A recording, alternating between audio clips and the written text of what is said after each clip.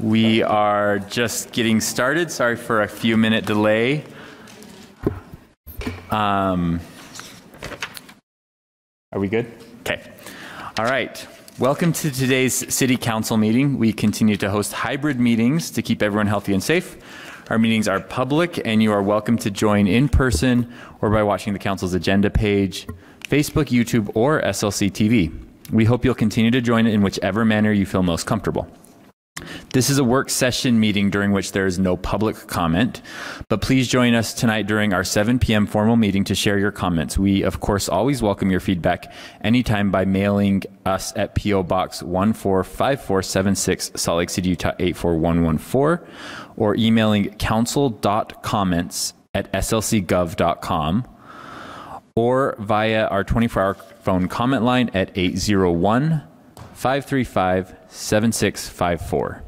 The written comments that we receive on anything that is related to an agenda topic is shared with all council members and posted on our website, slccouncil.com. And now we will begin our work session. And our first item, as usual, is updates from the administration.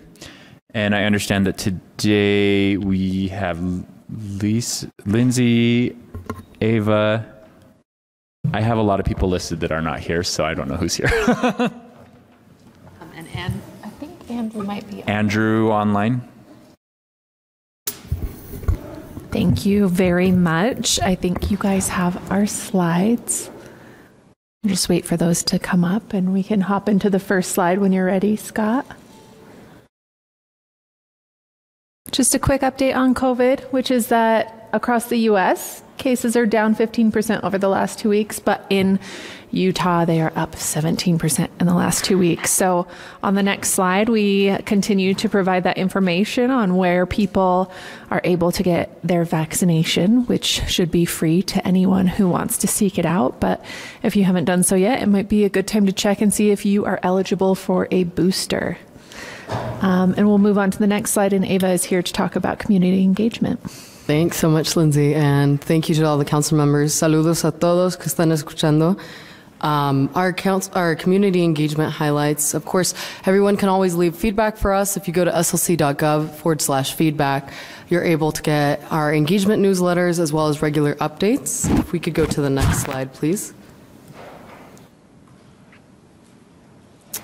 We have our updates from sustainability. We've just announced our resident food equity advisors program. You can go to slc.gov forward slash sustainability forward slash food hyphen equity hyphen grant.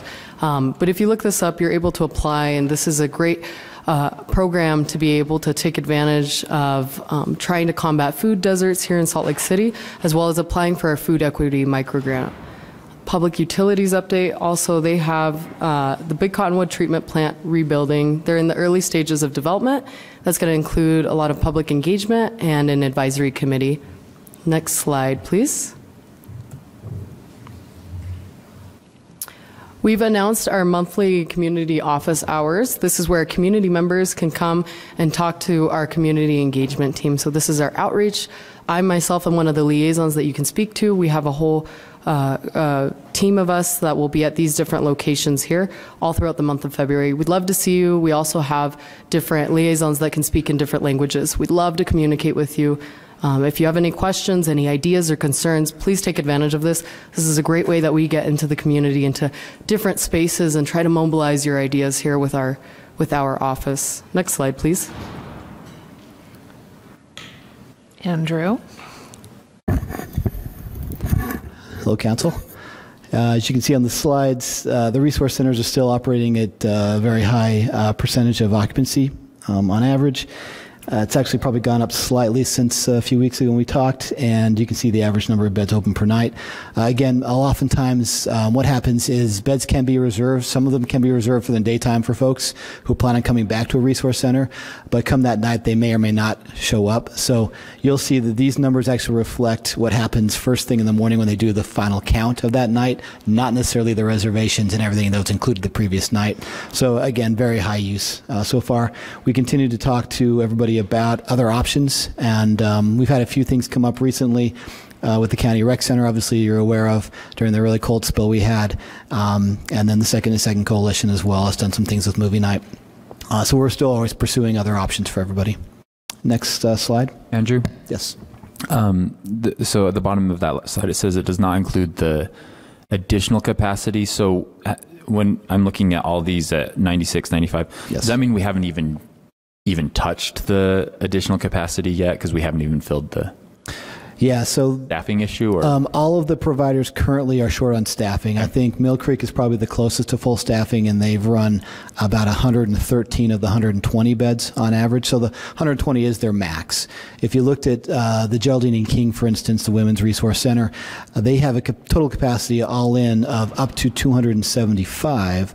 They haven't been able to go past about 230 because of staffing issues. So this would reflect the 230 amount, not that 275. Thank you.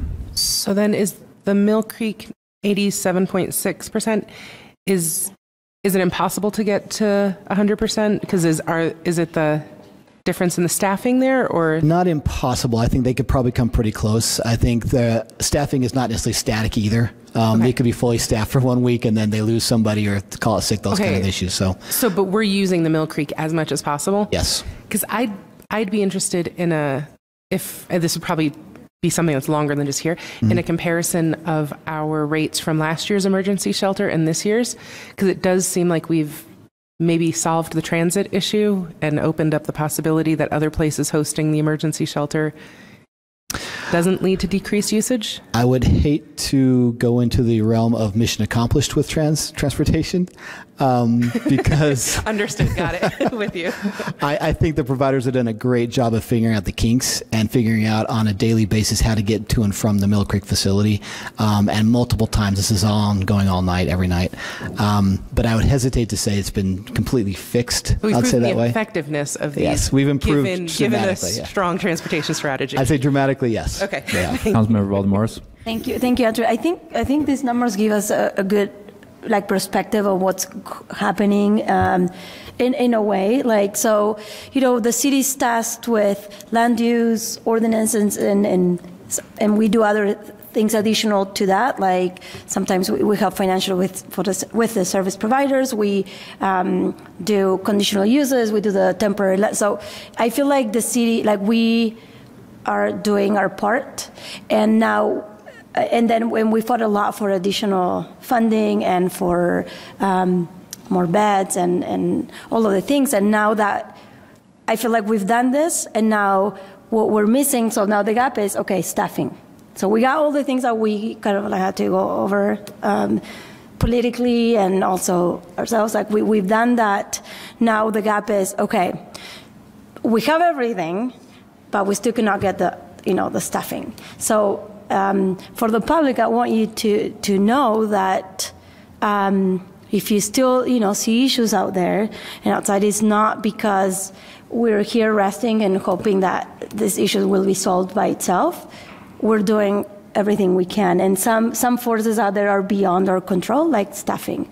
So. Um, um, you know, I, I want to encourage the public to keep talking about these issues, to keep talking to the legislature. I mean, they're in the session right now, to keep getting informed and to keep um, pushing for change, whatever it is to um, that we all need to do, so that we have enough staff, that they're paid correctly, that we have enough space, that we have the right funding, that so we can all do our, our work, but we need also the help of the public to um, to push for change and to push for additional services and, and help. So um, thank you, Andrew, for the information. I guess I just wanted to say that I feel like we do everything we can until we cannot get there. So there are other things that are beyond our control. But we're, we're, we're keep trying. I think, council member, you're correct. There, there's a lot of um, talk right now at the state legislature during the session, and there are several bills that will be coming out regarding these specific needs. And so you're correct to um, encourage folks to pay attention, to participate, to advocate. I think from the city, and you're also correct that uh, when you look at all of the um, the steps in this process, from our emergency outreach and funding VOA, the outreach teams, um, the emergency shelter, and doing what we can to increase capacity or the allowance to do so, um, I think the mayor and you all have also been pretty ab- um, vocal in trying to get the word out that our pri- private uh, nonprofits and providers are looking for staff and that there are available options there to sort of broadcast that, which is very helpful. So I appreciate that from the council and the mayor. Um, and then also from the city end, we continue to fund uh, deeply affordable housing. And you all all allocated a significant amount of money a few months ago, six million, towards some projects that are currently being worked on uh, for this coming spring and summer. Um, so from the city end, a lot of work is being done on all those levels uh, because it's just not one thing that'll solve it. Thanks, Andrew. Uh, we have one more slide, if that would be helpful, uh, Mr. Chair. And uh, the homeless engagement response team is tracking 43 locations currently throughout the city. And you can see that there's uh, active outreach or other plans for 36 of those. Um, it means on a rolling basis, we'll try and address everything as they come forward. And then there is some work to, to be done this coming week at Second South um, out towards Redwood Road. And then you also see the number of VOA engagement sites, uh, rehabilitations, and recurring cleaning. And that's all. Thank you, Andrew. Anything else from the administration? Thank you so much for your update. Appreciate that as always. Our next agenda item is item number two, an F- equity update. And I think we get to meet the new chief equity officer today, Damien Choi, um, as well as Michelle Mooney, the equity manager for the mayor's office. Hello, good to meet you. Hello. Hello. May I grab some water first? Please do. I don't know if this is already part of your um, your presentation, but please introduce yourself to us. We're, I think it's our first time getting to interact with you in a meeting. Yeah. Um, my name is Damien Choi. I'm the new uh, Chief Equity Officer. Um, I've been with the city in previous capacities as the Compliance Division Director and at Youth and Family as one of the Associate Directors. So thank you for allowing me to be in this space. I'm excited to work with you all. Thank you. And my name is Michelle Mooney. I'm the new equity manager.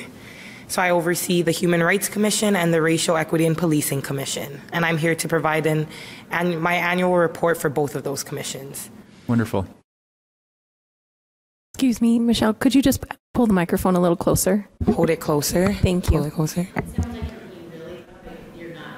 I know. I'm trying not to. I have a loud voice. I'm trying not to yell in the mic. I'm like, okay. Did you all have the slides for the HRC and REP update? Okay. So last year we were able to complete and complete the following: working with the mayor and city council to adopt and codify CEDAW partner with internal stakeholders to conduct thriving in place study, review and adopting language access policy and joint resolution, and updating and relaunching the commission website. And this is just a short list. Um, I outlined it specifically in the annual report that I sent over to you all. Um, some of the 2023 goals that we have is building the framework for the intersectional gender equity analysis and developing a CEDAW task force, participation in the Salt Lake Valley Commission to End Homelessness, addressing geographic inequity, and evaluating thriving in place study and providing recommendations, creating procedure for consistent data collection of ethnic slash racial demographics to align with the federal census guidelines and establishing a, ch- a children slash youth advocacy subcommittee. Next slide, please. And for the Racial Inequity and Policing Commission, some of the things we worked to complete in the last year, we worked with SLCPD to complete more than 75% of phase one recommendations. That leaves six items in progress and two still yet to be completed. We were able to work to hire the senior education advisor for the mayor's office to renegotiate the MOU for the school resource officers, hire a full-time recruiter and community outreach officer for SLCPD, recommend the final Salt Lake City community-based trainers of color to conduct DEI training for SLCPD, which should be executed this fall. Increase staffing for co-response team, as well as updating and relaunching the commission website.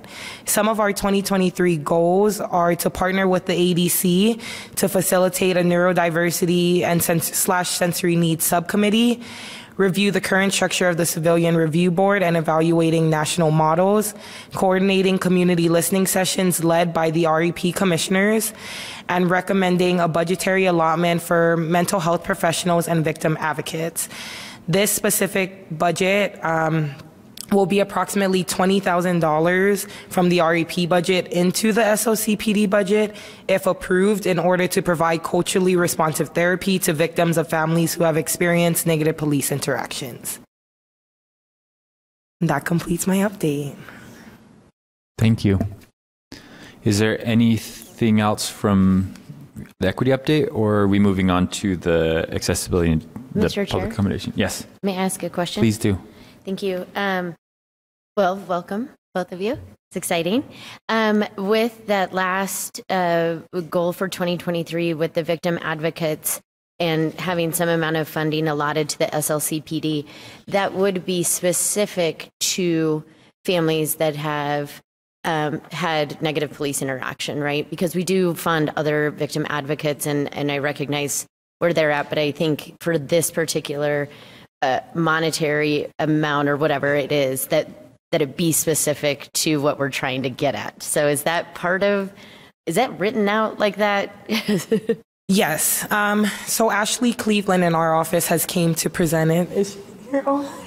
oh hey. Yes, she came to present with Wendy Isom, and it's going to specifically go to increase those therapies, cultural responsive therapy for the families that are affected. Okay. Yeah, specifically for that. Well that's awesome. I have a Like, question thumbs on up that. on that. Yeah, I also think that's great. Um, wonder what why the decision to house that budget in the police department budget was made rather than in non-departmental or some other budget. That's a great question. um, I guess for that, yeah, if you want to.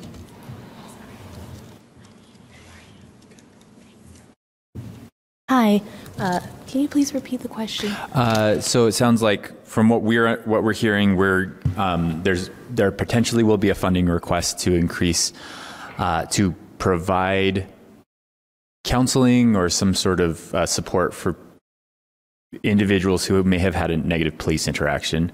I'm just wondering about whether that makes the most sense to have that budget housed in the police department budget or if it makes sense for that to be separated kind of like we've done with body cameras and other things. Um, I think it would probably make the best sense and the best use of our victims advocates time to be housed there because most of their referral process and policies come from that pipeline of action from the police department. So they're closest to the need. Yes. Okay. Appreciate that. Okay. Any other questions on, on for this equity update? No, no question, Council, uh, Chair. But just uh, thank you for the work. I appreciate all the, the effort we've gone on. I mean, we started the REP a few years ago, and uh, it's been ongoing and getting better every day. And I really appreciate the engagement across the city and the city uh, admin and the council across the board. So I appreciate all the effort and thank you very much. Thank you. Thank you. Thank you for all you're doing for the city. All right, so we are a little ahead of time moving to item number three, which is somewhat related. We have Ashley Lichty, the city's ADA coordinator, here to talk about public accommodation and closed captioning. And just council members, as we uh, we may have some of the accessibility and disability commissioners here with us today, and they may be communicating to us through the ASL interpreters. And if so, just make sure to give some space after your comments for for that to happen. Hi, Council. Thank you for having me today. Um, as was just mentioned, I am Ashley Lichty, the ADA coordinator. I also am the board manager for the Accessibility and Disability Commission. About a year ago, I sat in front of you actually with an ordinance to codify the commission. And now I am very honored to get to be here um, pushing forth their first formal recommendation, um, which is the closed captioning ordinance. And uh, this ordinance is a learning opportunity for the community as a whole. Um, it would require all places of public accommodation who have TVs that are on. And um, newer than 1990 to have their closed captioning on. Um, this way, a whole array, array of uh, visitors and residents would um, have more inclusion to uh, TVs in public accommodations, whether that is uh, waiting for a doctor's appointment in a lobby or at a bar or restaurant watching a sports game. It gives more inclusion across the board. Um, and this is already this is something that has been happening across the country since 2008 um, there have been uh, since then a lot of uh, kind of trial and error situations that the FCC has helped to mitigate and regulate so um, business owners can um, edit or not edit, but customize their captions. And uh, the FCC kind of really takes into consideration any sort of um, concerns with captions that folks have. Um, and so I just want to open this up for questions and um, also just want to say thank you so much for uh, letting me be here today. Thank you, Ashley. So just to clarify, this is a proposed city ordinance yes. that would require not just city facilities, but private businesses that have public facing televisions to turn the the option on on their TV, and that's something that would be embedded in. Sounds like TVs newer than 1990. Yes, correct. Okay. So the FCC has been uh, related or uh, kind of working on this for a very long time. So uh, since 1990, all TVs have that capability and also okay. uh, streaming services have that ability cable and satellite providers have that service i've already just as uh, a accommodation to business owners as is already available on the mayor's office equity and inclusion website are guides on how to activate closed captioning. So um, businesses and anyone uh, can go ahead and utilize that if they want uh, some assistance on trying to turn that on in their business. But yes, it would be any place that offers any sort of public accommodation and also has a TV that is on. So, and also newer than 1990. So, this is not, there's no monetary cost for this. This is really uh, the two lead commissioners on this, Pamela Maurer and Stephen Persinger, who are joining virtually today. They, um, they have always, since even before the commission was created, um, they, they have wanted to use this as an opportunity to educate businesses on how to be more inclusive. And this is just one of those examples that is a small but incredibly meaningful and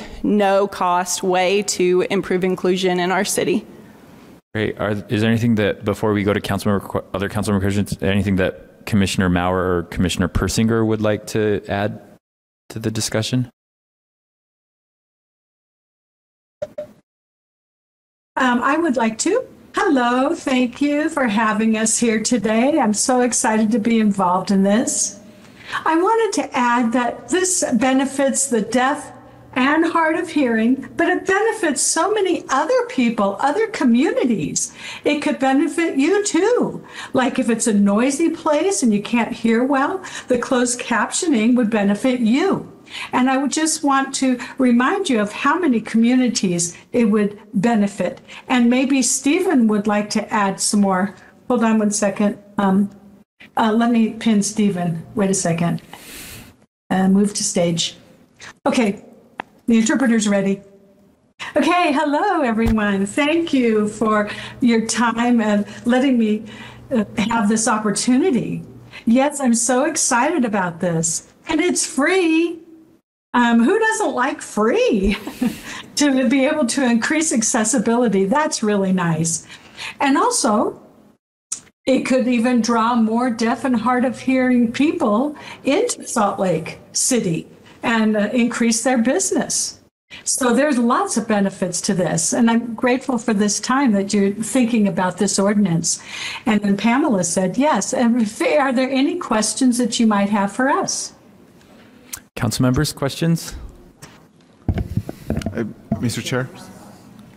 I, Mr. Chair. Yes, go ahead, I. So I, I, I love this. This is fantastic. Uh, and I just wanted to find out how do we plan to spread the word about this? Um, because there is going to be potential hundreds of thousands or maybe thousands of sites in Salt Lake City that could benefit from this information. So how do we, I mean, maybe How do all we of educate the to- public? Yeah, maybe all of us commit to spread it through our newsletters, but unfortunately there is not enough people there. So sign up to our newsletters, but is there a plan for that? Yes, absolutely. Thank you for that question. Uh, again, like you already said, one of the ways that I intend to help spread this word is through community newsletters, but also um, utilizing the disability organizations that exist in Salt Lake City to help spread that message, as well as working with um, economic development and our communications teams and um, any and also any um, ideas that anyone else has about this as well. So it will obviously be an ongoing educational opportunity. Like I said, our, our goal with this ordinance is not to be punitive. So even with the, if there is a business that doesn't know about it, um, something I would like to do as well is have um, flyers available so um, people can just go up to a bartender, a store clerk, whatever it may be, hand them a flyer that just has that information on it, or um, if they, if someone reports that a business isn't doing it, the uh, the first stage is a warning. So again, it's very educational. So even if someone is not doing it because they don't know, they're not going to have a punitive fine. It's going to be again just an opportunity for learning. Councilmember Fowler. Thank you, Mr. Chair. Um, I think that's great, and I I would encourage you to take advantage of all of us sitting up here as well. Yes. Um, many of us uh, have a lot of different connections with different business chambers, and uh, not that economic development doesn't also have those connections, but you have several small business owners sitting at the table, right, that have different connections, and um, I think sometimes it because we're like the big bad counsel. we get overlooked in some ways. Yes. Um, but please feel free to use us and use the connections we have to get this out and to create events within our different circles um, to to support this because it is incredibly important, I think, to all of us, and we would be there for it not just through a newsletter, but if there's other things that may come up, please uh, reach out to us. Thank you so much. Yes, absolutely. Councilmember Valdemoros and then Councilmember Puy. I was wondering if you had already talked to business licensing, and, and that could be part of their flyer when you know when you come and, and, and apply for a business license. Be like, okay, if, you know, if you provide a TV in your business, here's a new law. Please turn on the closed caption. This is a a new law for ADA, um, you know, accommodations for our city. So Yes. that, that's also very helpful. Thank you Um, so much. That yes, I will do that. Brilliant Right on. suggestion. Thank you. Councilmember Puy. Just quick, uh, quickly, uh, like, you know, um, thinking uh, we obviously we should get the airport. Maybe they're already doing that, but Yeah. with it, and and then when we apply for business licenses here, you know, when businesses apply here to get a business license, it will be a good opportunity to give them a little flyer. So Yes. You want I- to step for, further? Let's do a, a flyer. I'm like, Thank should you, Ana. that. I, I, um, I. So just to clarify, I am uh, about to testify on a bill in a minute. So I'm listening to that. The Oh. lobbyists are telling me we're next, and so I'm not completely out of. Okay. Thank you, Th- Ana. That was a great idea, by the way. Fantastic And I Fantastic think we should idea. do a flyer. I think we should fund a flyer so they can take Okay. with their application. So many ideas from council members. I do have a question on this. Um, sorry, and and first of all, I, I'm excited about this ordinance. Great idea. I'm. It's it's exciting for me, particularly not just for this commission, but to just see our boards and commissions coming to us with direct policy recommendations. To me, that's really energizing to see like, yeah, these experts that we ha- have asked to spend their time with us are actually moving the needle on things. So thank you for this. One question I do have though, and this is coming from um, my background as an architect. I know that the the um, ADA laws in our country, there there are time, unfortunate times when they become kind of weaponized for civil suits, and I'm wondering if this is a place where we, a business owner that doesn't know about this, there may be somebody that goes and knows that this law exists, and targets that business owner. It, it, do, have we thought through that dimension of it at all? Because I I can imagine there are business owners that just like don't understand that this exists don't have that turned on and then are all of a sudden facing litigation from private individuals that are that are kind of weaponizing it for the wrong reasons. Oh, um, there's a comment here. Thank you. Oh, I'm hoping it's okay if I make this comment. But that is a very good point that you brought up. I feel that's where we need to Sanderson Community Center for the Deaf and Hard of Hearing. That's where I work. And we can continue to remind the deaf and hard of hearing people how to approach businesses. If they notice that they're not having their captions on, they can teach and educate the business in a positive way. And the Department of the Workforce, we're under the Department of the Workforce Services, and we will plan to collaborate with them to go through that avenue also. Yes, we, we do have plans for deaf and hard of hearing, how they can approach it and and because some people won't know about it and then we can remind them to turn it on. And do you, does that satisfy your question, do you feel? I can add as well. Please, Ashley, thank you. Thank you so much, Pamela, for that. Um, great plug for Pamela's wonderful organization, too, the Sanderson Center in Taylorsville. Um, so, to answer your question um, from the side of someone who may be coming in and saying, oh, you're not doing this, let me file a lawsuit, they can already do that through the ADA um, because captions, requesting captions to be on is a form of effective communication.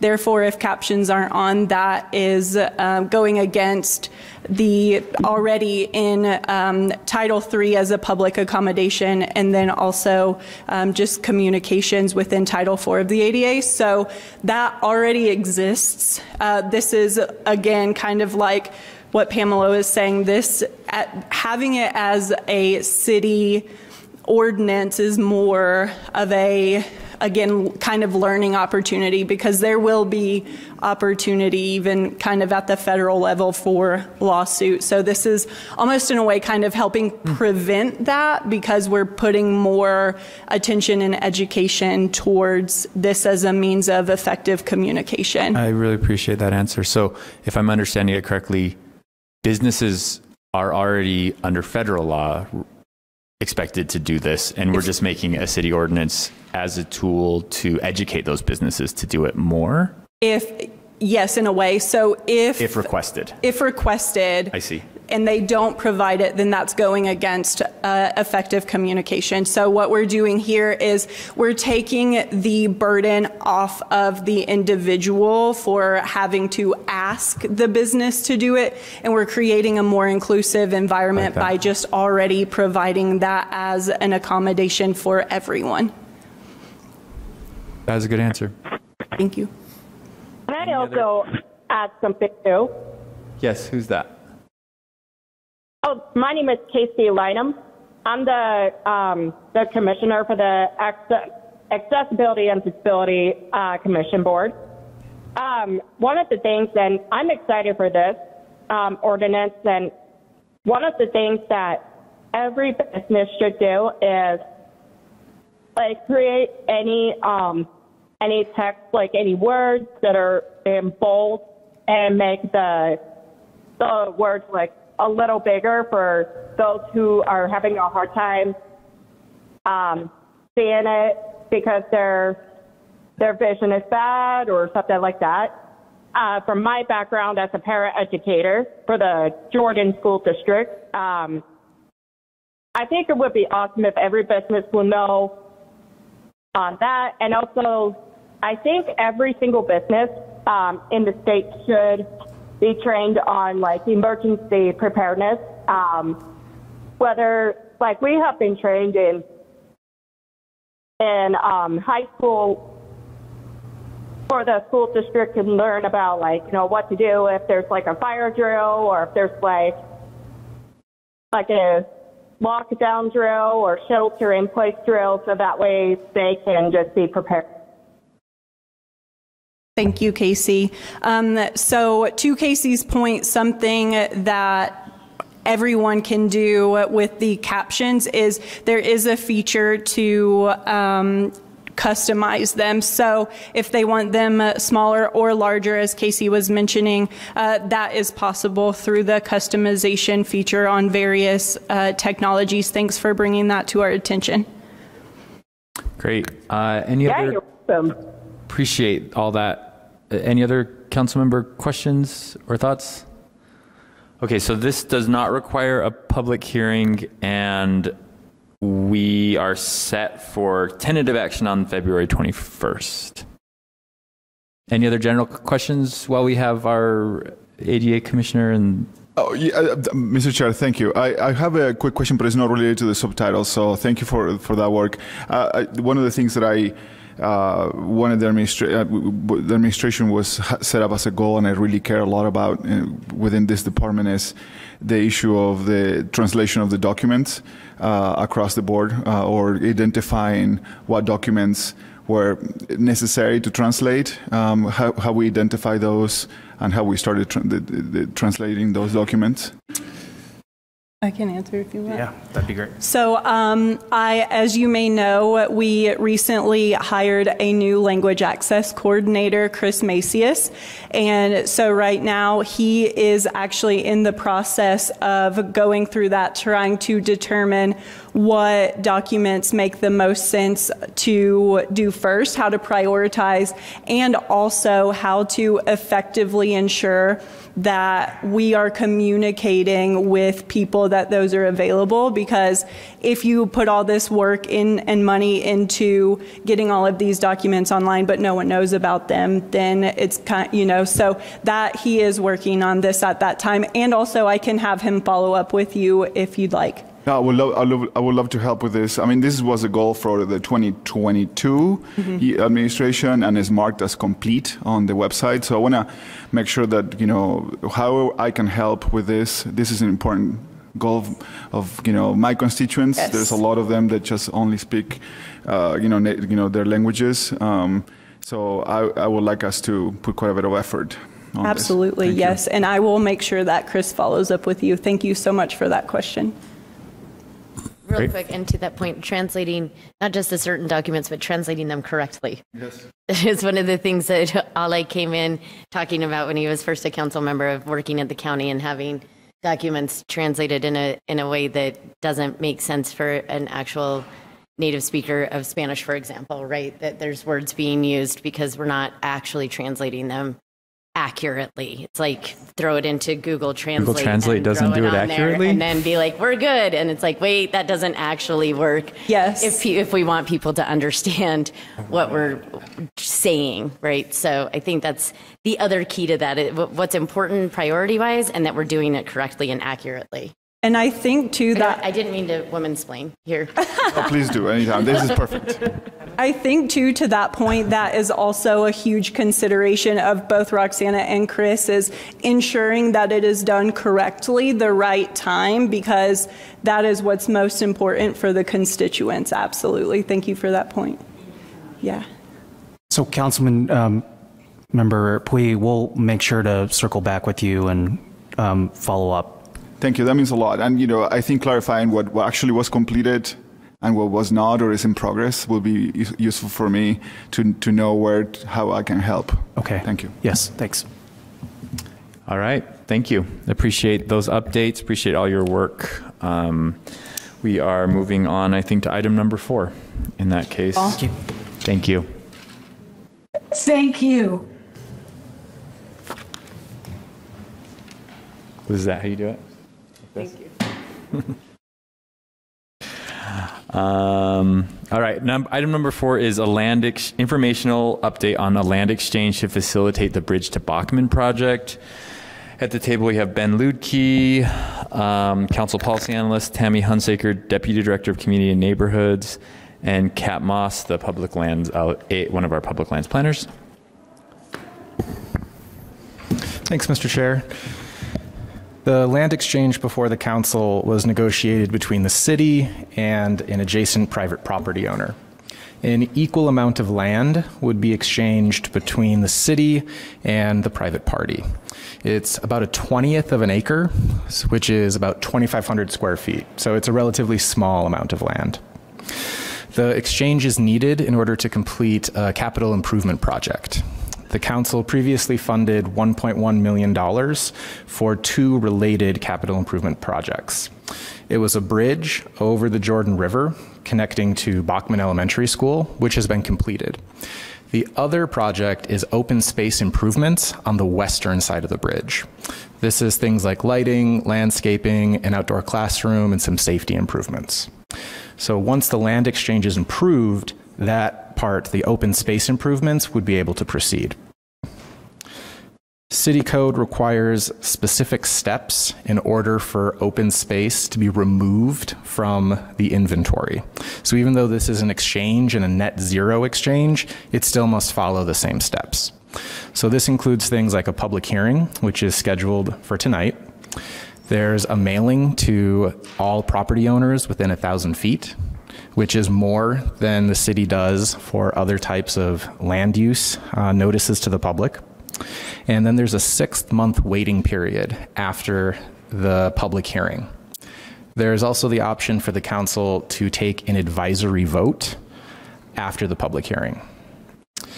The administration uh, welcomes feedback if the council would be interested in streamlining the process when there's a net zero exchange of land, such as the case today. Was there a question, Mr. Chair? Yes, uh, thanks. So you're saying council has an optional advisory vote, but it, that's not required, and the administration could move forward with this regardless, or what is the? That's correct. Okay. It's advisory. Okay. Um, a question just uh, procedurally. I guess so, yeah. Um, zoning, the land we're deeding over to the private property owner is zoned as open space. What is the land that we are receiving, and will those zoning designations be swapped? How does that work? It might be good to turn it over to Tammy and Kat for a presentation. you I have a think they touch on that. Yeah. I can kind of dive in, and I'll just talk a little bit about the um, project. Um, but thank you so much for this opportunity to initiate this disposition process. Um, next slide. And Ben kind of talked about this, but we did um, complete the installation of the Bridge to Backman project last year between 500 and 700 North across the Jordan River to connect Backman Elementary with the adjacent housing unit known as Riverwood Cove, which is the uh, entity that we will be doing the land swap with. Um, but the second phase of this is to develop the open space on the west side of the river. Um, currently, it is covered in really thick invasive vegetation and poses a lot of risks for users and students that are now using the bridge. Um, but an analysis of census block data done by the U of U actually shows that this specific natural area has the potential to provide walkable access to nature for more children than any other natural open space in the whole city. Um, so Public Lands is really motivated to complete this development as soon as possible. Um, next slide, please. And um, this development will include kind of irrigation installation to support native plants, a variety of trees, um, looped pathways and seating areas, nature play features along the Jordan River, um, as well as an outdoor classroom. And this space will be publicly accessible as a park, but will also be used by Backman Elementary as an outdoor classroom. And so, as Ben mentioned, in order to complete this project, a land swap with Riverwood Cove LLC is required. And this project is currently under design. It will be immediately ready for construction upon completion of the land swap at the end of the six month waiting period um, that's required by the open space disposition process currently. Um, next slide, please. So the city right now is looking to trade the current city-owned portion of the parcel, which is shown here in green, for the two red kind of sliver portions of the parcel, um, which results in no net loss of open space for the city, but will accomplish three things. Um, it will allow us to create an entrance to the Backman Community Open Space um, where the bridge enters the property um, to provide access between the housing unit and Backman Elementary. Um, it will also resolve a current utility issue on the property. Um, currently, a Rocky Mountain power line uh, is crossing over a portion of the Riverwood Cove property. Um, on the red sliver on the eastern portion of this parcel. And then finally, it will resolve an encroachment that's currently shown here in green. Um, the parking lot for the Riverwood Cove housing unit is encroaching on city owned property, and the new parcel boundary line will be along the sidewalk to the west side of the property and run along the fence line of their current parking lot. Um, and then the parking lot boundary to the east. So, So that um, parking lot is private, correct. but on Salt Lake City owned property. Yes, currently encroaching, yeah. So the project team's been working with Riverwood Cove LLC, the owners of these red portions, and they are in favor of this trade and um, highly supportive of the community open space project moving forward. Next slide. Uh, Council Chair, I will just finish up the presentation. Um, ben did a great job of talking about the pu- public noticing requirements. Um, there are several requirements in ordinance that we are following, including the noticing within a thousand feet, two signs posted on the property, um, and we also were required to post a notice in a local newspaper for two successive weeks. And the ordinance is very specific. It can't be less than one fourth page in size. It even specifies the size of the font. Um, so we we um, are following all the required steps, and we did look into the ordinance, and it is required even though there's a no net loss of open space. So we're following that. Unfortunately, we do have to follow the six month waiting period with this, which will push the project out a little bit. Um, we understand why it is difficult to take property out of open space, but we are excited just to have this project move forward. Next slide. Oh, that is it. So we are through. And um, I am here because Real Estate Services within CAN will help with the land exchange for the property. And so we are working closely with Public Lands on that component of the project. Right. Um, ben, you had mentioned that this brings up a potential optimization or streamlining that we can do with our city ordinances. Can you go into that a little bit more? So there's no code amendment before the council today. Uh, it's more of a if the council is interested in these narrow type of situations when there's no net loss of open space.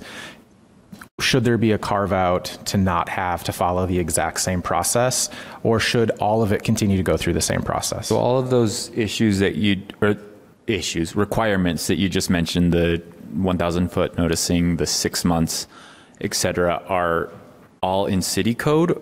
None of those are state code. No. Correct. Oh. Um, council members? Mis- Yeah. Mr. Chair? Councilor, Councilmember Fowler and then Councilmember Dugan.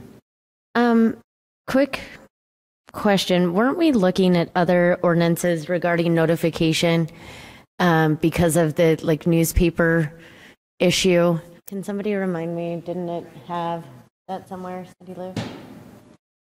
Were you referring to the right of way noticing?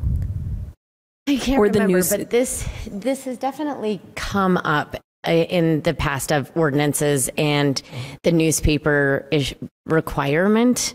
Um, and I know there's probably some state law regarding notification and things like that. But to, I think what your point was, Mr. Chair, is it is 2023. And I don't know who gets a written newspaper anymore that defines what font you have to use in a paper, right? And so I'm wondering if that, the, uh, somewhere in my memory, we were looking at this somewhere else in another area, and maybe it was um, the permit right of way that we're going to be talking about again. But like, I think probably a lot of our ordinances for notification wise has some things like this that maybe we should take kind of a holistic look at that might be easier.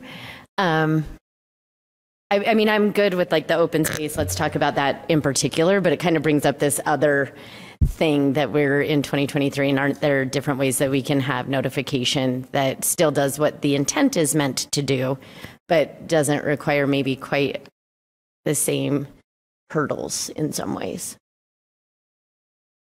that's just i'm throwing that out there for if anyone That- wants to do something That sounds like a Yep. suggestion. So the recorder's office would be happy to compile a list of instances where we're required to notice in newspapers specifically that differs from the state and bring that to you. That'd if that would be helpful. Okay. Sound good to council members? sounds Councilmember Dugan? amazing I was just going to Sorry. reiterate the point that if we can look at the streamlining some of these uh, smaller net zero, it'd uh, I'd like that. I'd like to streamline that process in that case. I think I, I still see value in us knowing when land is leaving or entering the city. So I don't want it to just be like, yeah, just like swap land wherever you want to. So some balance point between what it sounds like we're dealing with here and I'd also like it to be proximate so that we can't take all the green space out of one area and put it in another place that has to maintain some proximity. But thank you for this project. It's enhancing not just the quality of life for people there, but the safety of kids as they're not having to walk all the way up on 700 North and that sidewalk to get to school. And it's making the area prettier too. Thank you. Sorry. Mr. Chair, I have Fowler. another question, if I may. Um, particular to this project, is this partly CIP funded? The the 1.1 million for both projects went through CIP. Yeah. Okay. Um, and I'm, I love the project. I'm not, this is nothing negative. Did we know at the time that there was going to be a land issue? Or was that something that sort of like came up as the project was being developed and then kind of realized what was happening over there? Yeah, I can answer that. Um, two parts. Um, in order to facilitate the installation of the bridge, a Rocky Mountain power pole had to be moved. And so that kind of initiated the overhead power line issue. Um, and then we are, um, we've designed the open space. Uh, not contingent on we can amend the design, but the most effective pathway from the um, Riverwood Cove across the bridge is through that parcel that's owned by Riverwood Cove LLC. So just efficiency of design um, also kind of prompted this. great. Thanks. Thank you very much. Thank you. We answered the questions you need answered, right? Okay. All right, we're on to item number five, which is an ordinance about right-of-way permit notification fees. We have at the table Sylvia Richards, Council Policy Analyst, JP Goetz, Director of, uh, Deputy Director of Public Services, and Jorge Chamorro, Director of Public Services. But it looks like we have different people.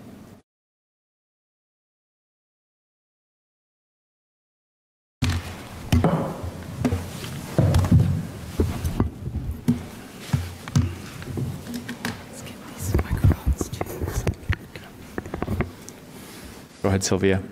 Thank you. The administration is proposing a new fee for the consolidated fee schedule um, of- for the cost of notifying adjacent properties when there's work done in the right-of-way. Currently, currently, the city's not charging or um, recovering their fee for mailing to properties and um, owner, property owners and residents.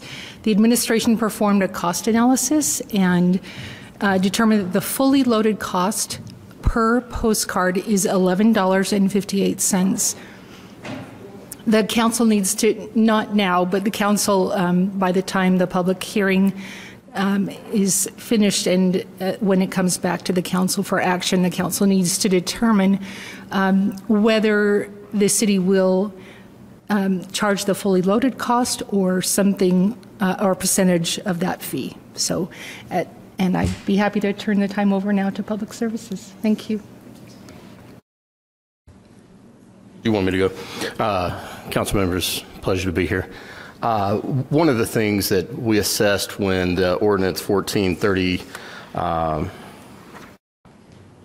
let me see, 143236 came about was to identify those impacts that neighboring or adjacent property owners would, would encounter as a result of the work in the public way. One of the things to be able to address consistency as we go through and provide these notices is provide each property owner with something that would have a city logo that they could identify that would have a much less chance of it being thrown away or discarded uh, if it were a door hanger that was maybe an unsolicited item. The way we have proposed this in the $11.58 is a fully loaded fee that takes into account items such as uh, direct labor and unbilled building costs, which account for a little over 70% of that total cost. So if you back that out, just actual materials and things would be around $3.09. So that's just subtracting the 849 of those uh, direct labor and unbilled building costs out. One of the things that we do prefer in this is that consistency. And by utilizing the Postal Service, we as a city are sending out the mailers. We have the ability to make sure that we have accountability that it was sent out, that there wasn't any question. So if we get a, a question from a council member who gets a concern from a constituent, hey, we weren't we weren't notified, then we can then go by and in this manner be able to verify that they were in fact notified. Now this also includes notifications to uh, the actual uh, resident, and if it's a leased or rented property, then there's also notification that's sent out to the property owner through our addressing system. So just kind of a little bit of background of how the cost came about uh, when we went through uh, city finance to get what that, that fully loaded fee was. Is there any questions? Yeah. Um, does this is this um, commensurate with the fees that we charge, like uh, land use petitioners when they have to send a postcard out? Do we also charge them eleven dollars and fifty eight cents per postcard? And that's outside of your department, I realize.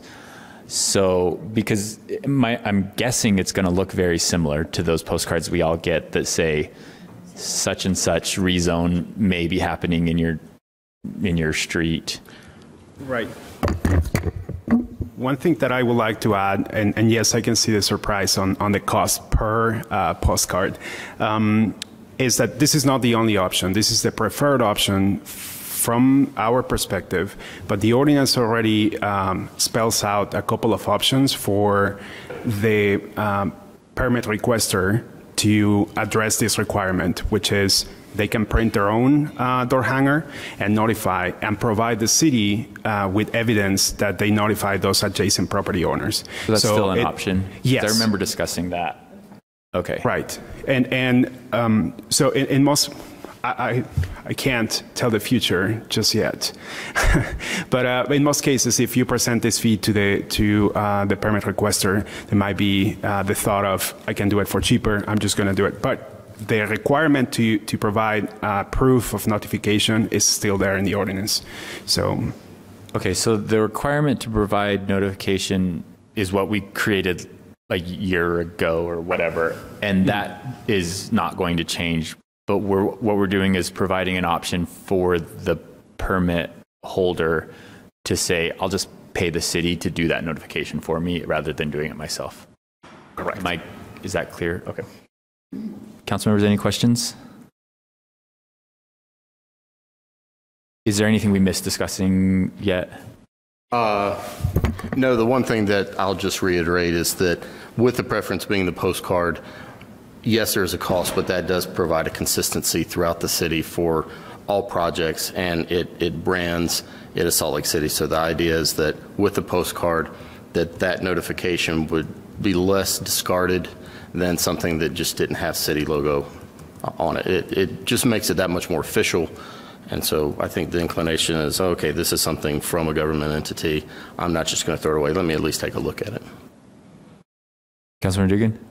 Yeah, I appreciate that. I and probably agree with that. People would find find something on their door hanger and just immediately goes in the trash, just because you know they're not even going to look at it. So I agree, agree with your point about the, having the city, city logo, and I also agree that you know uh, we should charge what we get have to pay for, and you know we shouldn't say, oh well, we're going to charge you only fifty percent of what the burden is. We should charge the full burden price because we're actually then uh, not doing anybody else a favor by uh, not charging the full cost of our work t- to be done. So uh, I'm in favor of the hundred percent, and I also agree with your point about the city logo on an official notification is important, but I think there's the give and take on the option is also necessary.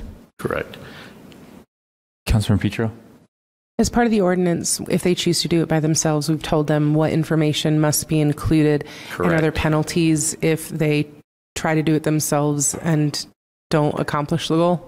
The ordinance doesn't address penalties. It just kind of says further down in the ordinance, these are the things that have to be included on the flyer and what the city would do if they so chose to go with that route. They would be given an example of size, medium, kind of what a door hanger would look like. Um, and, and they would have that option. I'm fine with them cutting costs. I just don't want them to cut corners while they do it. Correct. And one of the things with that, and we've, um, is uh, whether or not that would have the city logo on the, the flyer, which under advice of councils, we've talked to the city's attorney's office, they would prefer that we, and I agree, that we would not have or provide that city logo either through intellectual rights or misuse, um, because anything could happen from the time that we give that to them. That could there could be any number of things that could happen. With a postcard, we can pretty much specify what's on there and have that consistency. I guess my thought is if I'm going to pull a permit and lay some cable underground or whatever I'm going to do in the public way, and I look at that cost, is the fully loaded cost, yes, the city should be, taxpayers should not be paying for costs that are incurred by private companies, but if this is a service to the resident, I can, and we're giving the applicant the option, I, ju- I just anticipate that some people are going to say, yeah, I can do it for less than $11. And then we're giving them the, if we all agree that the postcard from the city with the city logo on it is better, then we're disincentivizing that because it's so expensive and you, they can probably send their own postcard that will get thrown in the garbage for less than $11 a postcard. So I, I, would- I mean, I don't know who, what economist or whatever can, can tell us, but is anyone going to use this service if it's $11.58 a postcard? Well, if, if you're, if what, what was said is true, that the postcard that the city would send out is better and will be read, then we should not make it also so expensive that it will never be done. And that's just about, I don't know. Or we need to change the ordinance, say that that's the only way that, that it can happen. But I think there are other issues with that. I feel like it's economies of scale. I mean, when you're developing four city blocks, like what's happening over at Post District, this fee might not be as onerous as someone who's developing one parcel at a time. So I think the optionality is really good, and I think we should highly encourage it. But I think with the, the scale of things going on right now, that this fee might not be as onerous to some developers as it is to me looking at it. When this is not a fee to a private developer on private land, right? This is a fee to a public utility doing work in the sh- right of way. The public way. Mm-hmm. So, And, um, and if I may, the economy, they, they will be doing a lot of houses if they're running fiber along five city blocks. So, if we don't think that, On on one specific location. yeah. And, and if I may, the majority of these permits are going to be adjacent property owners, so maybe one or two. Like if there's a sewer lateral that's done. I see. It is not like a large linear project. So as you go in and see kind of the examples, if, if two notices at fully loaded would be about $23.16. Okay. For our larger linear projects that affect a lot more, especially multi-housing units, uh, you know, that cost will incrementally go up as a result. But the typical property owner that's doing an application for sewer lateral or something in front of their house, a driveway apron, that cost is not going to be anywhere near as, say, uh, a large linear project that uh, a public utility would be, would be doing. I appreciate that. Council, uh, Councilmember Wharton? Just, I, I think this is kind of what all of our questions are getting at. I, I don't think there's like a small mom and pop utility provider out there that is going to be burdened by postcards. And even if they're using like a local construction company, it, it, they're going to be hired by like AT&T, Verizon, they're going to cover those costs. Yep. So I'm, I'm not worried about Verizon's ability to pay No. these postcards. And to clarify, I'm worried about their decision not to use our postcard system and then do a door hanger, which it sounds like we've decided is not effective. Right, right, Or but- less effective. That's why I'd be in favor of just requiring this. Um, Many instances. Or having a penalty for not. Okay. Thanks. Um, and another way to get at that might be, I, s- there are costs associated, i even if the Verizon does their own door hangers, someone in the city has to verify and, and field the complaint that that did or did not get taken. Anyway, so we we should be recouping those costs as well. It's all. And another thing to add. We're probably getting a little further.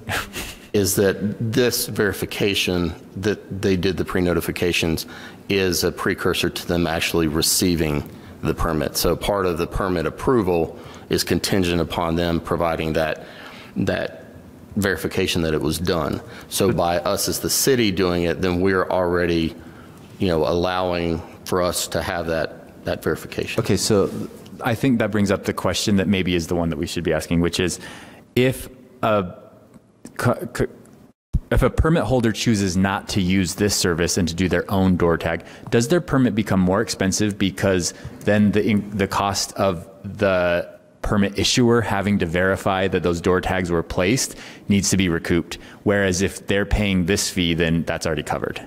Yes, and also the immediacy of for us, if they are paying the fee, we are going to do it, right? So they we can approve that permit uh, in an expedient way, rather than waiting for them to go take the picture, submit the picture to us, and verify that they actually put those door hangers in the right places. So there is an incentive in a way for for that uh, company to go ahead and just pay the city because we are going to follow through. And at that time, because they are um, fulfilling the requirement, they can get their permit. And we will see uh, that those postcards are mailed right away. Does this satisfy the? Well, why don't we just say we don't, that they have to use the city? So why don't we just say they need to go through the city to provide their noticing? Like why, I, I don't have an answer for that because this was a discussion when the, when the first ordinance was approved. Uh, I, I understand that there were some discussions to give the option to them to do it on their own, and that's what exists right now in the ordinance. The, the current amendment that we are requesting is just to reflect the fee uh, associated with the mailer that we currently are not charging. yeah. Well, I guess, I mean, I am in favor of the change, um, but I would also, I also wonder if it would just make it easier on us as a city if we said, you have to let us do it. Because we have to do work, whether you hire a pri- private printer or not, we, we have to do work. So just let us print it and let us do it. Mm-hmm. And it'll be faster A for you. that's probably a follow-up question for attorney's office or? Yeah. Well, I was going to ask, Sylvia, do you have any of the background of where those discussions came from of giving, keeping those options open? It sounds like something that a council would do of like, oh, let's I'm make sorry, sure I- everybody has I don't have that background, but maybe we could follow up on that. Um, cause I'm curious too. And I think I'm sort of at the point where I, I'm sick of incentivizing and want to require, um, in a lot of different areas. Right. And so, but maybe there was like this really amazing, robust discussion. I doubt it, but maybe there was um, that made some points of why we kept it open. Remember a lot of discussion. I, On everything. There was a lot of discussion, but not on that. I don't remember a lot on that part. I mean, we created this. Yeah. Yeah. Chair Mano, if I, if I could add, um, coming from the planning division, that I believe it's a 300-foot radius for, for planning petitions.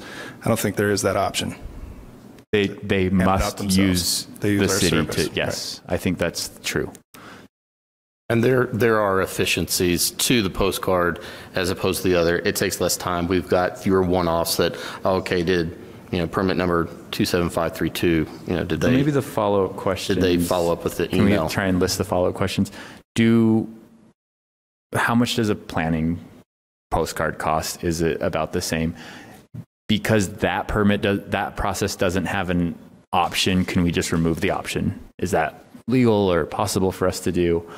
Um, and I want to confirm that if the under the current system, so I think we're all a yes on let's charge the fee, but the under the current system, if a, applicant chooses not to use the city's service, are we then is there some other way we're recouping the additional costs of on city employees and burden on taxpayer?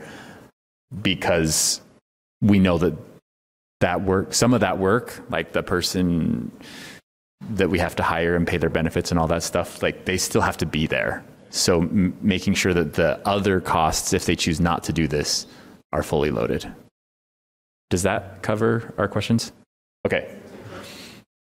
Councilmember petro Um, if we send the postcards and a constituent says, "I was never notified about this," we, I assume, then would would assume that liability and would interface with them.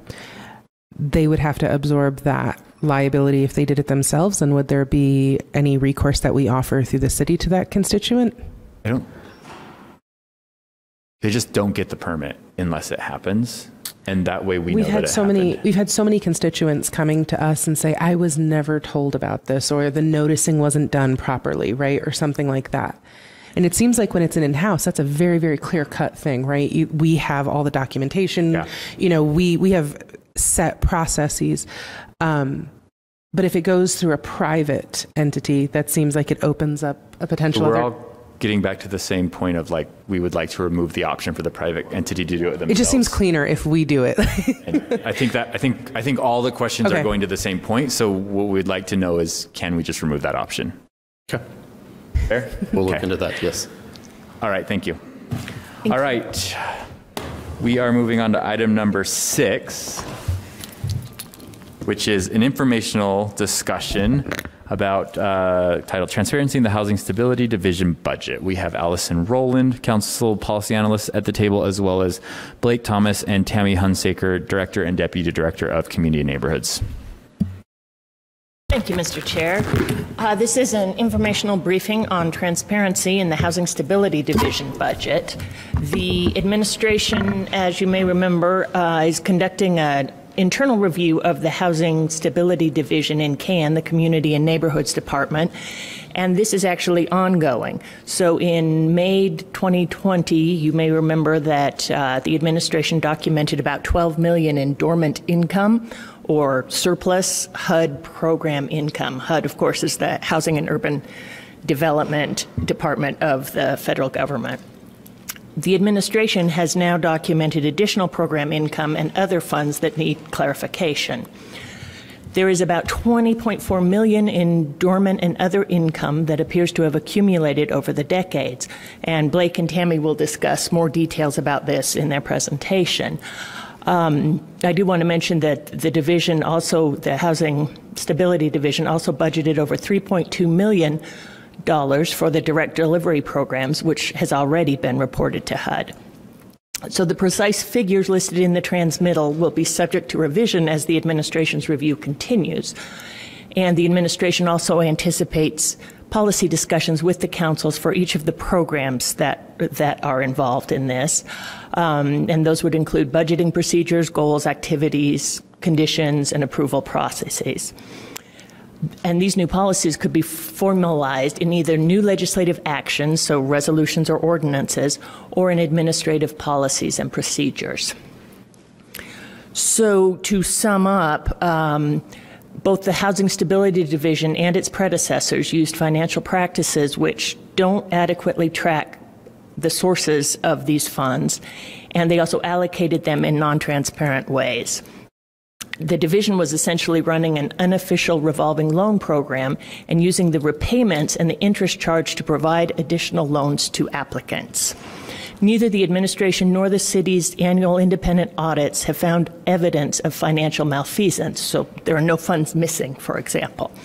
But over the years, the council has repeatedly requested information on the division's budgeting practices and has not received a clear answer until now when it's beginning to, to become more clear. So far, the administration has rectified the division's practice of non transparent budgeting of program income. They've proposed improvements to bring the programs in line with current best practices in budgeting and transparency. And this process will continue for the next several years. The administration recommends four process improvements.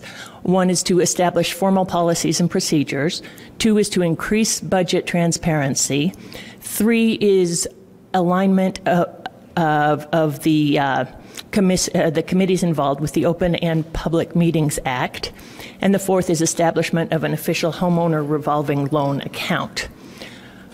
Most of the staff policy questions are focused on the administrative recommendations, but I wanted to draw your attention to the two attachments. Um, the first is existing direct delivery programs. So, because there are 10 of them, um, it's probably, you may need a refresher on some of the names and, and some of the programs. So, that's included in attachment C1. And then attachment C2, there are the administration responses to council staff questions on the transmittal those, um, unfortunately, there wasn't time to include those completely in the staff report, but those are also in the staff report. And I can turn it over now to Blake and Tammy for more information. Okay. Um, good afternoon, and thank you for the opportunity to propose recommendations for your consideration regarding new and updated housing stability processes that will better serve our city and its residents.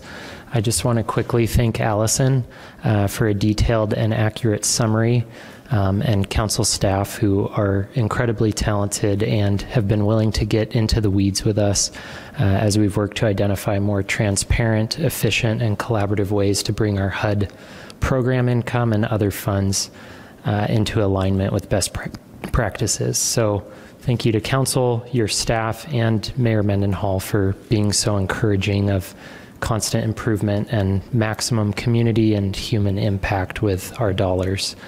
Um, the administration and council have committed more than $24 million this fiscal year supporting affordable housing, and we want to ensure that any further funding dedicated to the housing stability team and its programs is done in collaboration with council uh, with a cohesive vision for how to best support our residents. Tammy and I are here today to talk about proposed updates to our policies and procedures so the council and public can better know what's happening and where our city's housing dollars are invested. As Tammy and I have gotten our bearings in our roles, we've found a need to improve decades uh, long practices. Um, realizing there are better ways to do this, and we'd like to do that by, as I mentioned, uh, establishing formalized policies and procedures, using those new policies and procedures to ensure that any funding decisions are open uh, or subject to the Open and Public Meetings Act, improving budget transparency, and lastly, proposing a revolving loan fund for those dollars uh, that's subject to annual review. Now, on the next slide, Tammy will provide an overview of housing stability's programs to set the table for our discussion, and we'll go from there.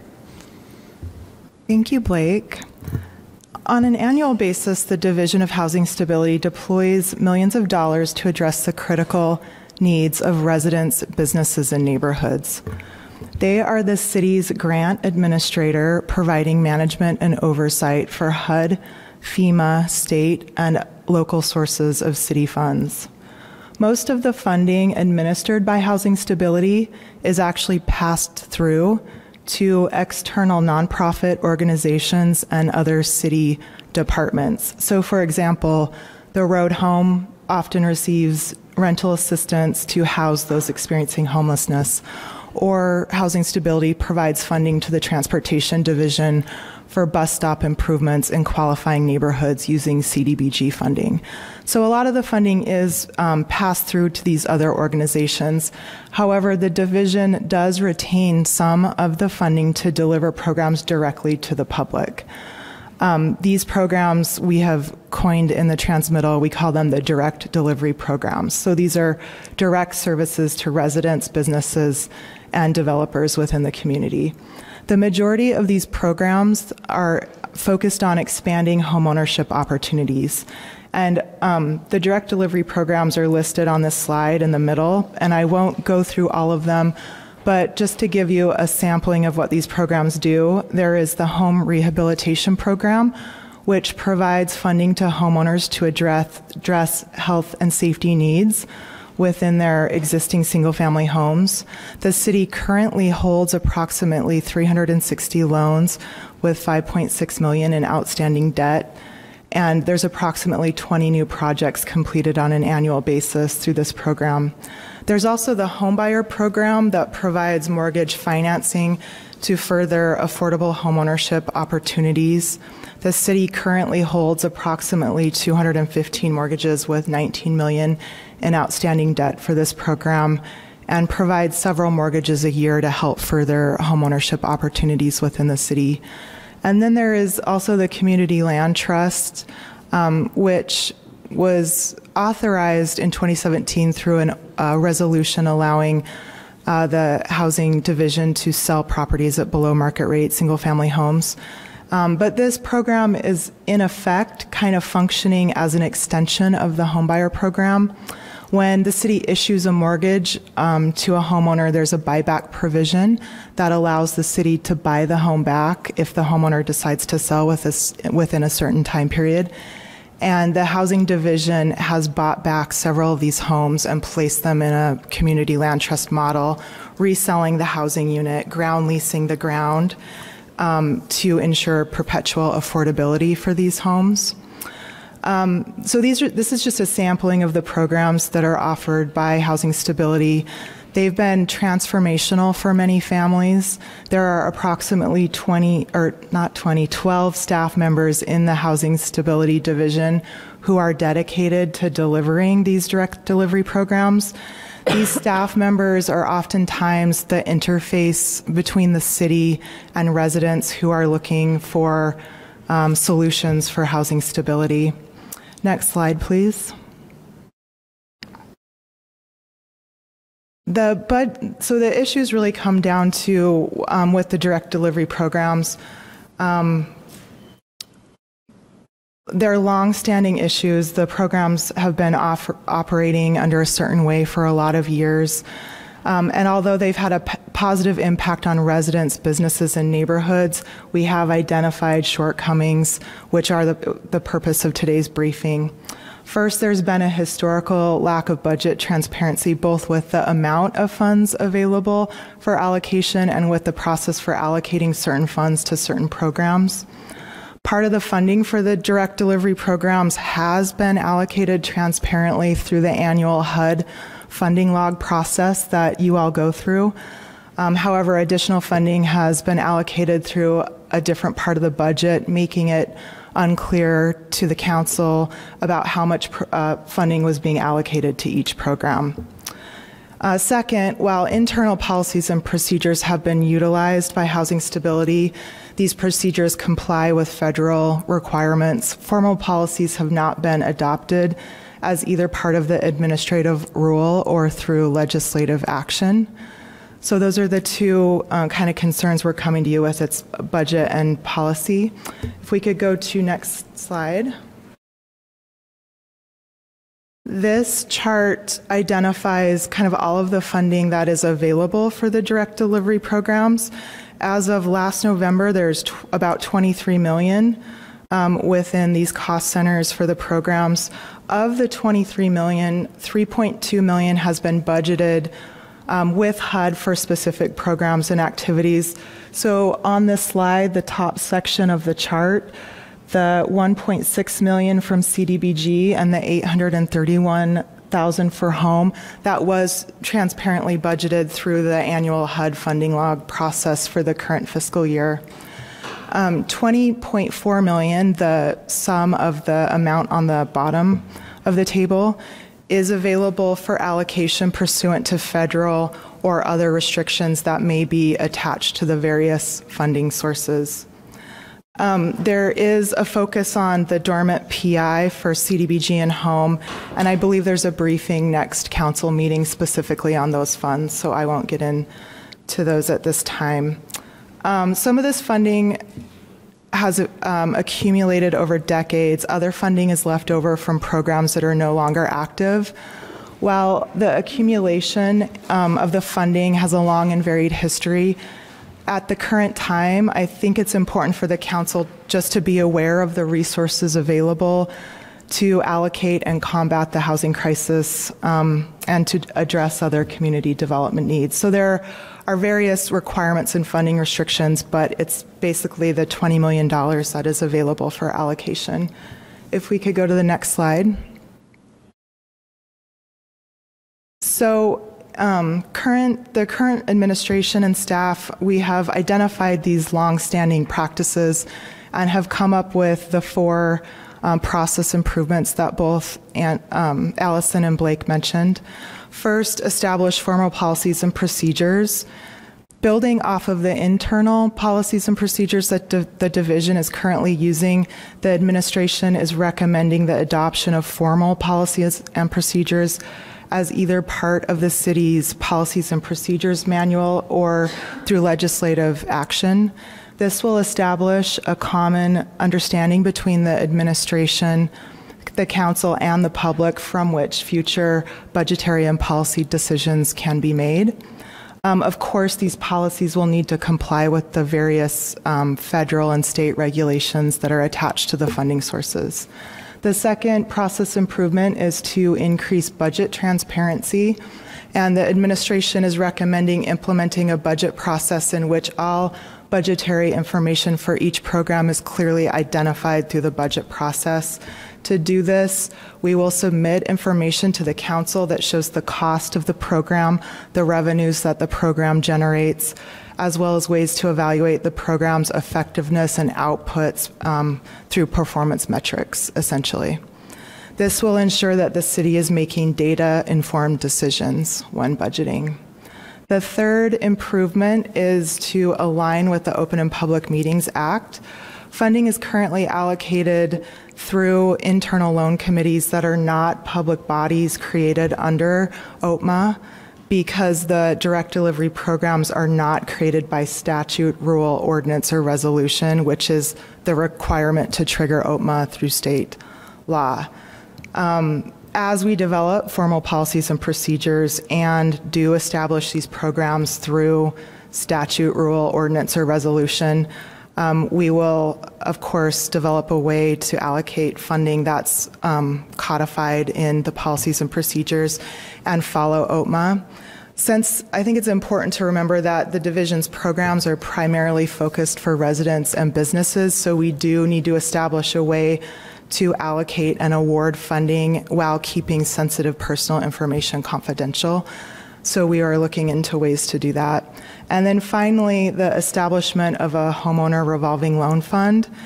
If the cost centers that um, these funds are administered through are not treated with a revolving loan fund or an RLF model, unencumbered funds, including the ongoing accumulation of principal and interest, will obviously drop to fund balance rather than acting as a replenishing source of capital to further the city's homeownership goals. The city has various RLFs that are these pools of capital from which loans can be made. For example, there's the RDA loan program um, and the Economic Development Loan Fund. If there is an RLF established for these homeownership programs, the council would still have the opportunity on an annual basis to allocate the available budget for the revolving loan fund um, every year. So, with um, those th- uh, four process improvements, I will turn it back over to Blake. Next slide, please. Here's the tricks.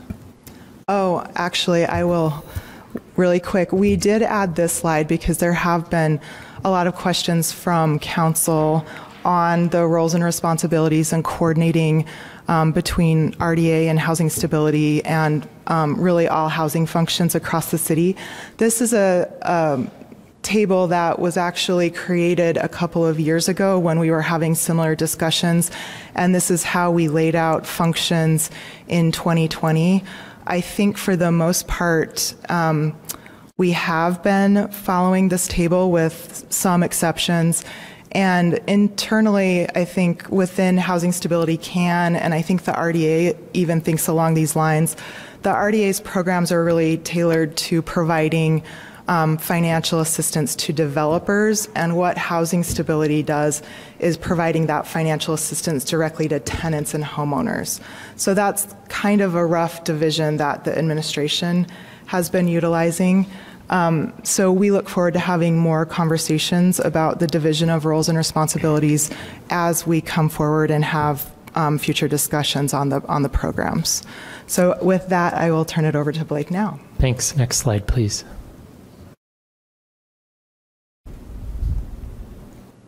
Okay, just in conclusion, the as Allison mentioned in the opening remarks, our our hope or intention as the administration will be to submit additional information to you all on the direct delivery programs uh, as we work to formalize the program policies, um, the budgeting procedures, the goals, activities, conditions, and approval processes. So we consider this to be an iterative process over time where we evaluate each of these programs.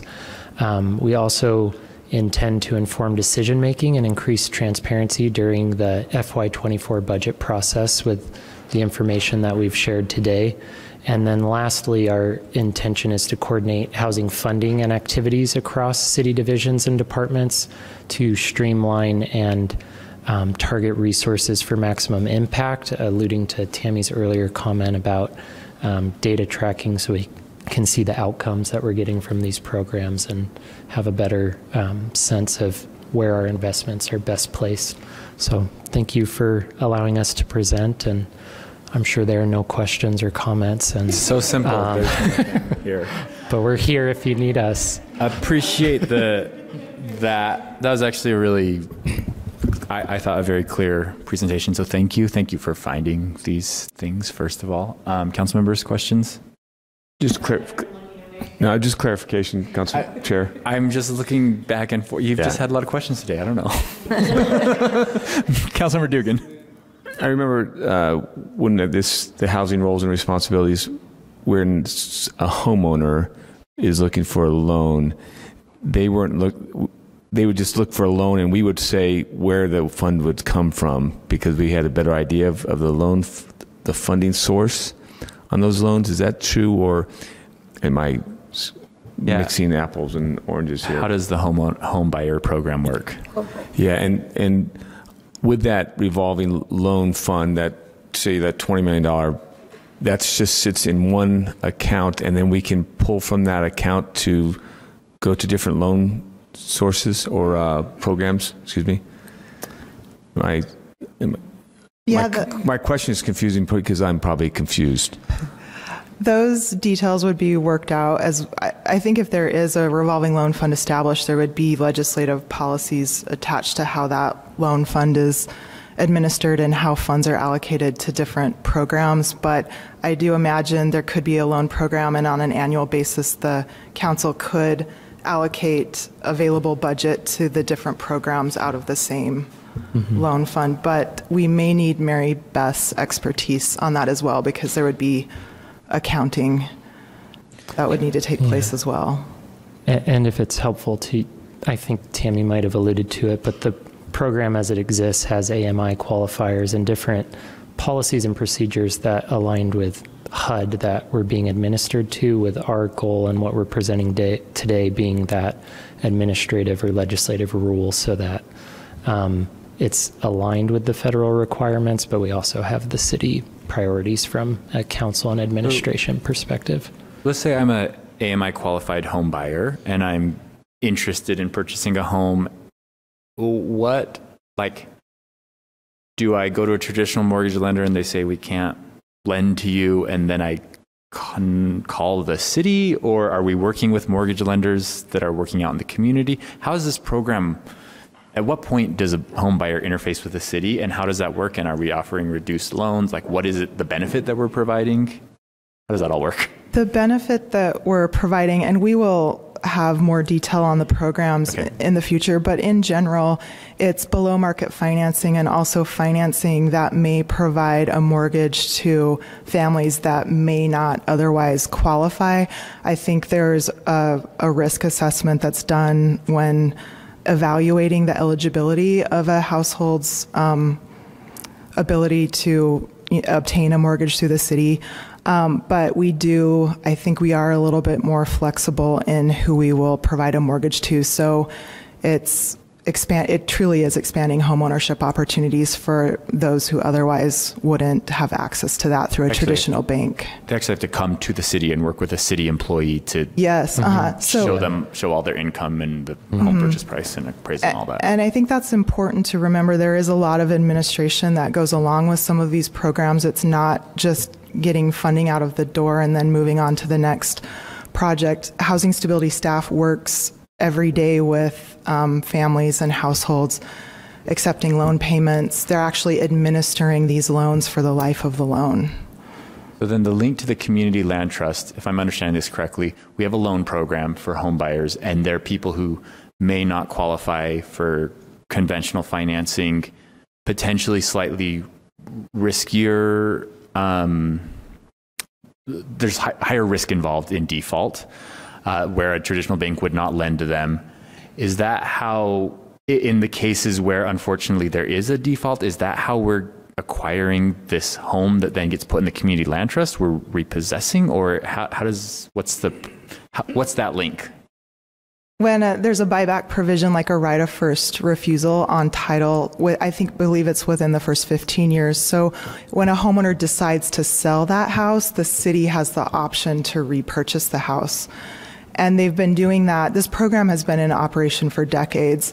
So they've been repurchasing the house and then reselling it to a family. So it's not just the homeowner or the potential homeowners um, using the city for a mortgage. We're actually, we have inventory of homes that are recycling, that we're buying back and then um, reissuing a mortgage and selling to a new qualified family. So any home that any homeowner that purchases a home through the home buyer program gives the city the right of first refusal, or only specific.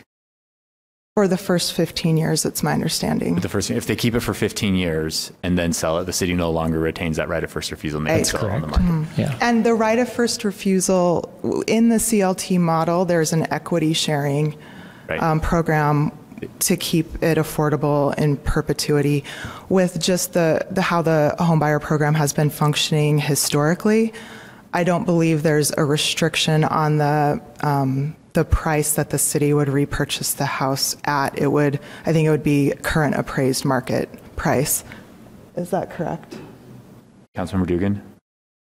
On, on that same vein of about just on the home buyer side of the house, and you, you know, we have 215 mortgages out there, $19 million worth of outstanding debt. And, you know, we're trying to have the transparency and we're trying to be part of the, the, uh, the approval process. But, each one of those are not coming to the city council. Is it like, is it the idea that, hey, we're going to allocate X amount of dollars to the home buyer program, and then the administration has a list of priorities and a list of uh, check marks that they need to go through to provide that loan at once a year? Because that would be really getting into the minutiae if we're, we're making, it's coming to us for approval. That would be established through the policies and That'd be- procedures. Okay, Mhm. okay, and that's still yet to come. Mhm. Okay. Yeah. Um, just, is it something where we anticipate this being like, uh, revolving loan fund to me sounds like there's just always money available until there's not, but generally there's money available. And when a person asks for the funding, we can go through a process. Yes, no, yes, no, yes, no. If the outcome is yes, you qualify, then we provide them the loan. It's not like the NOFA that the RDA does where they have to be in line to buy their house on this date of the year and we score them against each other to come. That is to come. Um, I think the NOFA process may not translate to same. Issuing mortgages I would to think not, families. yeah. Yeah, this is homeowner. Councilmember Valdemoros. Yeah, I have, thank you. I, I have some questions. Um, so it, it looks like in one of your slides, so um, you mentioned, I want to make sure that we're doing, the, the revolving loan fund is for home buyers? Or is it going to be a all-encompassing revolving loan fund? And then we'll and then we'll dedicate to home buyers and also to business, you know, like the economic development one, and then, because I, I feel confused that in one of those slides you said just revolving loan fund and not home buyers loan fund, revolving loan fund. So one it says HRL and the other one says RL. Yeah, it would be, we are proposing that it would be like a home ownership revolving loan fund. So um, it could be um, funding for the home repair program. So that, that would be for like existing homeowners that need a critical home repair. Um, like, for example, um, a senior homeowner with no other means may need a new furnace or something like that. That's the type of service that the home repair program provides. They, depending on AMI, that will prov- they will provide those services either as grants or as loans. And so um, the revolving loan cu- fund could feed that program and the homebuyer program. Um, there's some other homeownership centric programs that it could fund. All right, it makes sense. And, and w- w- the, the feeding of that, the feeding, so whatever the money's coming from, it's, it's, is it general fund? Is it federal funds? Is it state funds? So it's a combination of everything. To. We put it in here and then we start taking out. And obviously, the interest that some of this will generate goes back to this.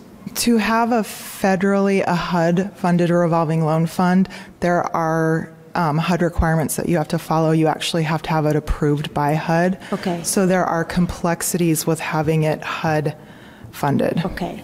So where is the funding coming from then for our revolving loan fund?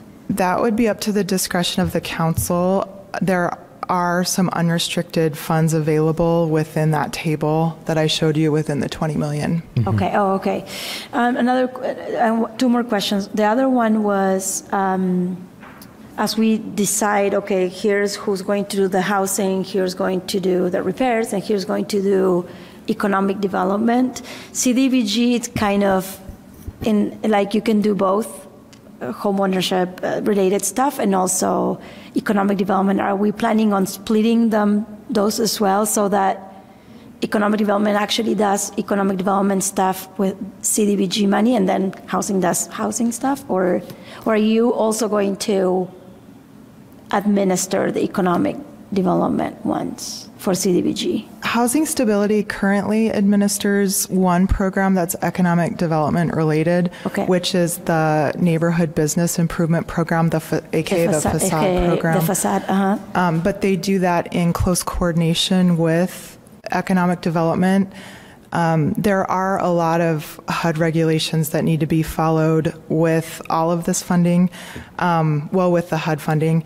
Uh, so even when housing stability acts as a pass-through, there's very specific requirements that must be followed in terms of environmental review, um, Section 3, Davis-Bacon. Oh. So housing stability staff is closely involved, Yeah, even if money sense. is passed through to a different department or a different organization. It, it makes sense. And that will need to continue to happen. They're the experts on those processes. The reporting is messy, so I think that will be fine. Somebody that knows that reporting Yeah. process. The third, que- the last question and third one was um, this funding that we have available, that the money that you showed us, that we have there, these are to stay, or are we going to have to return some of this money because it's so old and we didn't do anything with them? We with will, it, sorry. We will get into the briefing next week on the dormant program income. We are working with HUD to retain and use the Okay. funding in the community. It will require an amendment to the five-year consolidated plan. Okay. The, we are working with HUD on the 14 million in dormant program income. We have a briefing on it next week so we can get in greater detail, but it will require um, a substantial amendment to the five-year consolidated plan to use the funding. So we'll have to identify eligible activities and uses, update the plan, submit it to HUD. HUD will have to approve the plan to use those Uh, funds. And if not, they will tell us we want our money back. Yeah. To be okay. clear, that 14 million that we're going to talk about next week is entirely separate from the 23 or is embedded within Part of it. Part of it. Okay. Um, I wanted to, to uh, bring up a, well, go ahead, Councilman Fowler, Sorry, no. because I'm going to change the topic. So Oh. if it's related. Yeah, there's lots of relatedness. Okay, go ahead. Go ahead. Thank you. Okay, um, well, So I don't even know where to start right now, but um, let me start here with the idea of the community land trust. Um, when the it, it sounds to me like in part it is HUD funded. Is that correct? The mortgages being provided to the homeowners purchasing homes are HUD funded. Um, so the mortgages being given to homeowners, the money to to acquire the land, who is that funded by? I believe that's a mix of the various sources. Being HUD, um, other local, some of those funds that are no longer used. They, it's complicated, but it's a, a mix of the funds. I still We feel could go like back that's to- not. But Cindy, Just add, um, and and these guys have been great to to dig into the weeds Yes, with Allison definitely. on this, um, and with the rest of us too.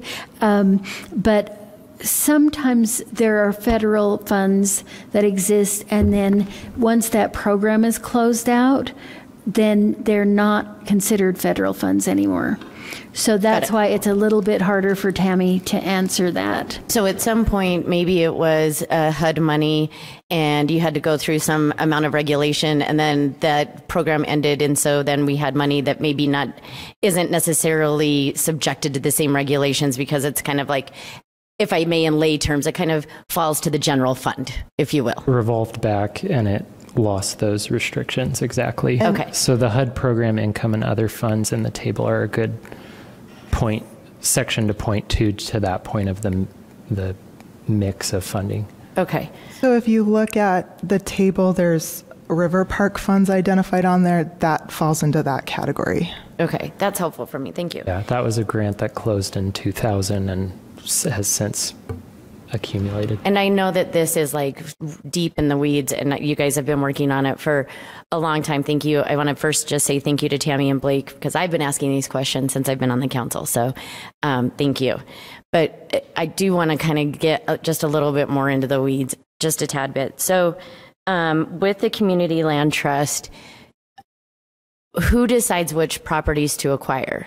What, what process process does that go through? It has been, um, since it is linked to the homebuyer program, so say there's a home out there and under the homebuyer program, it's still within the 15 years of the right of first offer. The homeowner decides to sell, they have to go to the city first and ask if we want to purchase it. I think oftentimes we do move forward if, if there's budget available. And I think I maybe misunderstood. So I thought that we also acquired property before there was a homeowner and then got into this mortgage with the homeowner. Did I So- misunderstand that? No, over time, so the homebuyer program has been operating for decades. The city used to build um, some of these homes. I think that's originally how it started. We would build or buy and then rehab. Um, package that with a home buyer. It used to be first time home buyer. Now it's just home buyer if it's a qualifying home buyer and sell those homes. So uh, there's a, a big pool of those homes out there. So as they're being sold, we're repurchasing them. The city did um, recently build two homes, but we understand very much that there's a division now. Housing stability is not doing any more development. Okay. So that helps me. So like a lot of the inventory we've had, we've probably, it's been on the books for a while, probably, Yeah. right? Like it's Mhm. not the, okay, that Right. helps. Um, But can I add one um, piece of information? The we don't just buy back the home. Oftentimes, there has to be budget allocated to rehab the home to get it up to standards to resell it. So there there is a process there. Okay. I'd like to, at another time, probably sit down and talk with you guys about this. Um, when the like mortgage comes in and the interest comes in to the like, let's say all of the interest comes back to the community land trust, even if that's like a very low amount of interest. That money is then using not, I'm trying to, is then not subjected to the HUD requirements, right? So, for example, it is. It is still. So even if it comes back through a HUD reason that it was out there, then it come it comes back and is subjected to that HUD regulation. Yes, and it um, the dormant PI accumulated because um, we were keeping additional PI um, program income. We have corrected that practice, and so now program income is um, reported on an annual basis back to HUD. So it's basically included now in the next funding round of federal grants. Okay. Could I ask? I'm sorry, council member. Um, so that's true of the homeowner program, but that's not true of all the funds that were previously allocated from HUD, right? Some of those are now no longer subject to HUD. That's true. so that's current CDBG and home. Right. I, I guess my bigger question is if we were to create a revolving loan fund, then my question is if the mortgages being used are subjected to HUD requirements, then anything that comes back in form of repayment, interest, anything else is also subjected to HUD requirements. Is that correct? Yes, and we've been recapturing and putting the program income back into the funding cycle. So if the council is supportive of the administration looking into a revolving loan fund, we as an administration would um, work with Mary Beth and figure out a proper way to structure that. Um, some of the mortgages were provided with funds that don't have restrictions, so um, we would have to look at at those details and propose a Well, process. So if we were to bring back um, that money and put it into the, the PI fund, if you will, essentially, we could put that towards different CBDG, like when we go through all of our HUD grant monies. Could that money be used for those programs that, that um, apply for that money? Like the home buyer program and the home repair. No, Like during the, during our During our HUD annual allocation applications? process, would it be Like the surplus nonprofits that above apply? The annual allocation. So if we didn't have enough CDBG, like we, CDBG, we, we received this, but we would like to add more to it. Can The we? program Surplus income. above the annual allocations. Yeah. Yeah. The Could- program income being, that's what's happening now, starting So this. it's, now it is. Mhm. So it would go, again, I'm sort of calling it the general fund, but I'm calling it like the HUD money, Mm-hmm. the HUD money general fund. It files back into that. Then when we go through the process of nonprofits and service providers coming to us and saying we have money, then we can say, oh, we have this PI fund that can supplement some of these things that we're not, we're feeling that we can't fund because we're out of money. We're now doing, we can now have this. Correct. Okay, that's helpful to me. And and Yeah. I'll say because I, I don't know that we should be in the business of providing services. There's enough people out there providing services, and every year that we do the HUD money grant stuff, I think why is the city taking all of this when there's other services out there? I'm not saying that we shouldn't do this right now. It's simply like there are other nonprofits that are do providing a lot of the services here that I just want to take a look at and say, are we the people that are in the business of providing the service, or are we the people that are in the business of helping fund those people that know what they're doing and providing the service? So I know that was a really long way to get there. Thank you, Mr. Chair, but thank you. Councilmember Wharton. Yeah, I didn't see. So, um, housing stability. Okay, we're going to be getting a transmittal about the mayor's proposed perpetual housing fund. I assume that that'll be in housing stability as well. That has not been decided yet. Oh, okay. Um, then you probably won't be able to answer my next question, which is how does all of this relate to the mayor's proposed perpetual housing loan or perpetual housing fund? I believe we have another work session item scheduled in the very near future to get into that exact question. Is that okay? Am I understanding that correctly, Cindy? Requesting. We're Okay. requesting. Okay, then I'll just preemptively say I think that we'll probably have a lot of the same questions about um, the transparency of that and making sure that there's like appropriate oversight on that as well. But I'll just leave it at that. So we've been talking about this for a long time, but we are still ahead of time and our next item is a break. So I want to change. Like I want to talk about one other thing that came up with this is which was in the past we've been saying okay, RDA does development, housing stability does programs or does serve whatever. It was presented a little bit differently today, and I want to explore that a little bit because I, I I, I, like a little bit. I, I, think I like what you said, which is RDA is good at speaking with this type of person, which is a developer. Economic development is good at speaking with this type of entity, which is a business, and housing stability may be the right place for an individual tenant or homeowner. Is that, I, I want to kind of discuss that with the council and see if we, if we like that, because in that case, I'm wondering if something like the RDA's um, nine line Westside Community Initiative slash nine line um, uh, ADU, affordable ADU financing program is better suited to be handled in housing stability, even though I know that's RDA money. So there's like some shell game that maybe needs to happen, or I don't know. But that we've asked the RDA to do some things that really are relating to an individual homeowner or person? And if that's the distinction that we agree with, do we need to revisit? Is that the distinction we agree with? And then do we need to revisit some of those things on both ends? Councilmember Fowler. Thank you.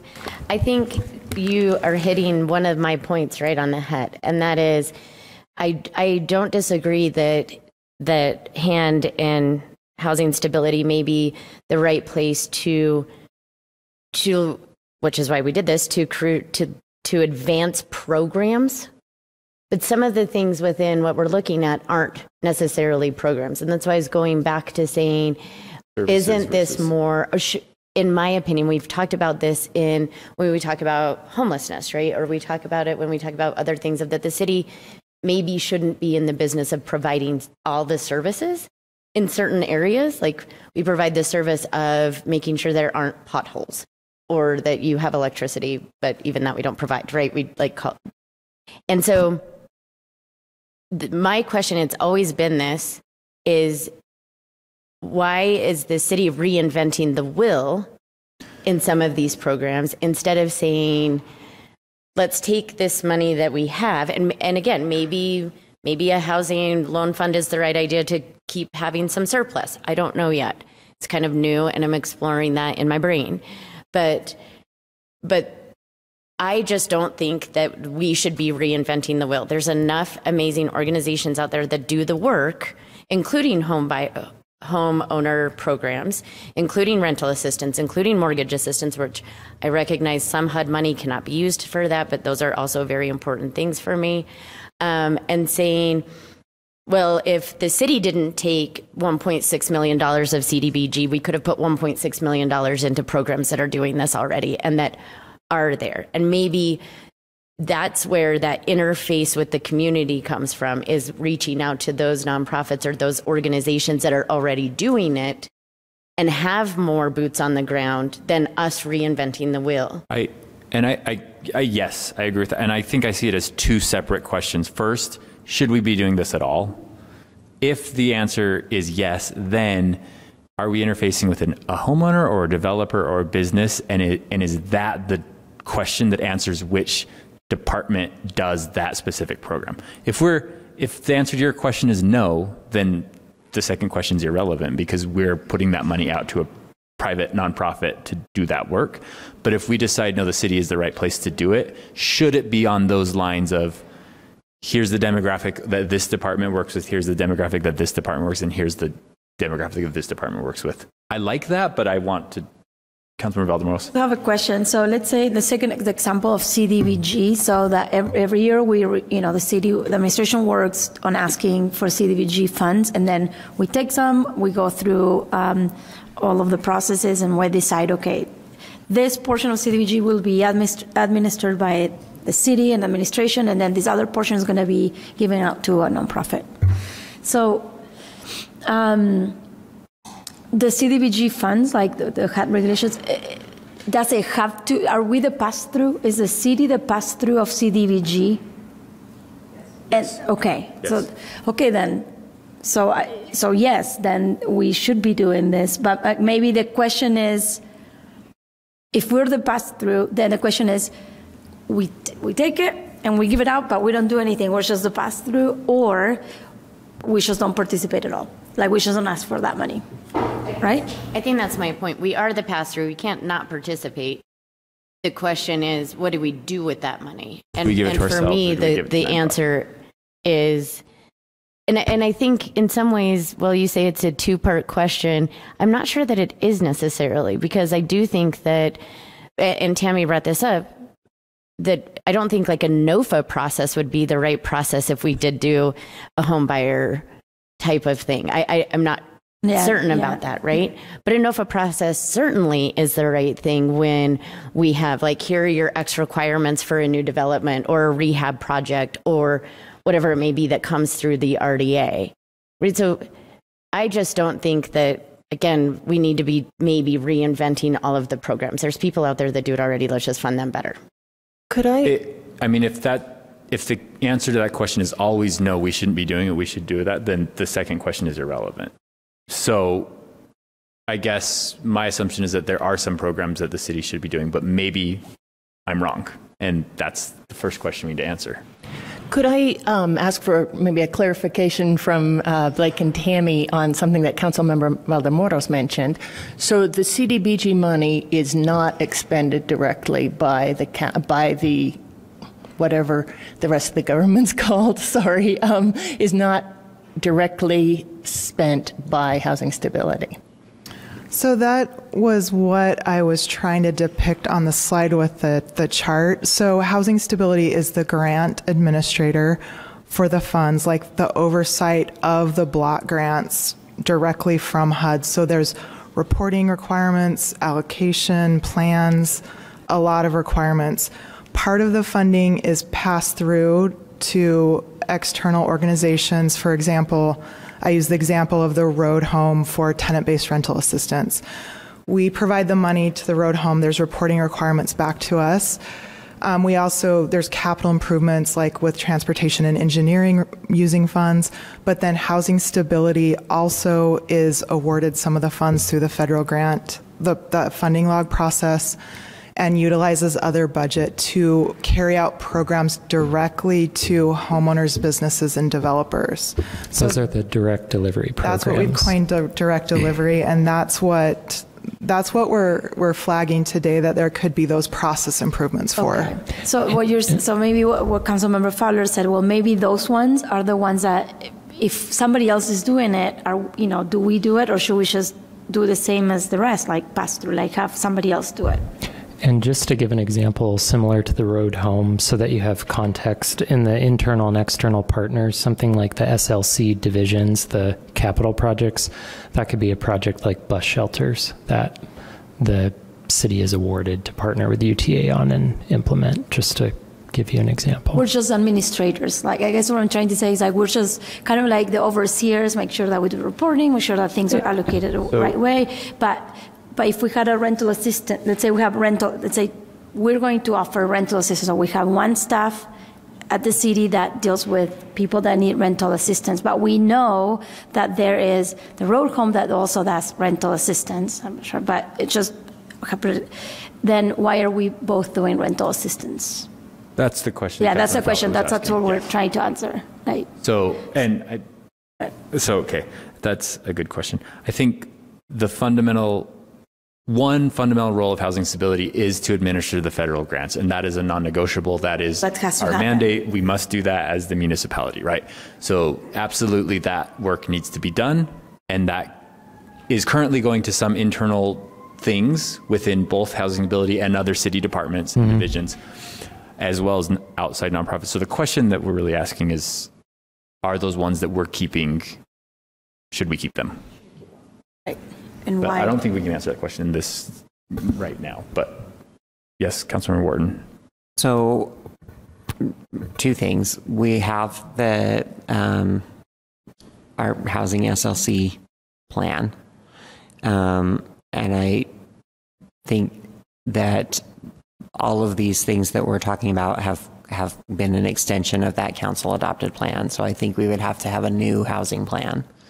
Um, uh, and then, second of all, we're, I feel, being increasingly, um, local governments are being asked by the state to take on housing as an issue and to come up with their own plans. So I don't, I would just say that I, I think that there are, uh, so there's the pressure from sort of above, from the higher level of government. There's our own plan that we adopted. And then I, I feel that there is definitely a lot of more pressure from residents for the city, um, for cities, all cities, to take on more in terms of housing. In, So- in direct delivery types of models. Um, yeah, yeah, I, yes. So for me, the those are I think that's how we got where we are, um, and I I I want to I'm happy to have the conversation as well, but to answer the question, I think that's how we got to where we are, and that's what keeps pushing me to keep to to want to keep furthering these kinds of programs with the city. I think that's a good point. Okay, so And for whatever it's is there worth, anything that we did not answer today? Oh, that needs just to be I think relevant to this conversation, the Thriving in Place plan as part of that exercise, as we're kind of in the final drafting stages, is what programs are being recommended. You know, tenant relocation assistance program or policies or whatever that looks like, and part of that has been an exercise of what programs exist already in the community where it would be best served to pass money through versus something that doesn't exist or would need to be a program delivered by the city. So just wanted to share that as something that we are thinking about and considering with those recommendations that'll be highly rele- relevant to these programs. So I hope that helps that our state of mind is in that place. I appreciate that. All right, are we ready for a break? Mr. Councilmember Puy, like this, this, this this short. Um, so I, uh, you know, and I remember, and I was looking, uh, uh, you know, to some of the funding that was requested through CBDG last year. And Neighbor Works is a good example of an organization that has not only the track record but the experience. And you know, they also the knowledge and the, the, the know-how of uh, housing and all of these things. And I re- remember they they they applied for uh, for over $300,000 in, in funding, and it wasn't recommended, but this council gave them some of the money. Uh, I think this is a good example of something that it is being done there and is being done well. And maybe we should figure out how to fund it when they come f- come for that money. But I just wanted to, you know, bring that up a little example of this because I think it was more about theory, and, you know. But this is a specific example of our neighbor works that is working very hard on housing, uh, and we couldn't fully fund them last year. I, we have another discussion scheduled next week for very related things. Okay, this is the last. Yeah, yeah. So I, I appreciate the reason why we're here early on was because we didn't really have a very good process and the transparency to $20 million, and we kind of figured that out. So I appreciate the uh, digging through and investigating and coming up with a solution here. Uh, I mean, we got into a deep conversation here on, on a sidetrack from what the original intent was. Hey, we had a problem. We uh, have come up with a solution. And part of that solution is making sure that it's transparent and that the city council is part of the decision making body and not just uh, a, um, a sideshow. So we want to be part of that uh, decision making body and we want to make sure it's transparent and that we have a good process in place so that we don't end up in 10 years being back at the same spot going, what the hell happened? So thank you very much for the discussion. Thank you very much for this, uh, coming up with uh, potential uh, solutions to it. Appreciate it. Thank you. All right, we're on to item number seven, which is a break. I propose we take the full 20 minutes and come back at 4:33. What was the time again? 4:35. 4:35.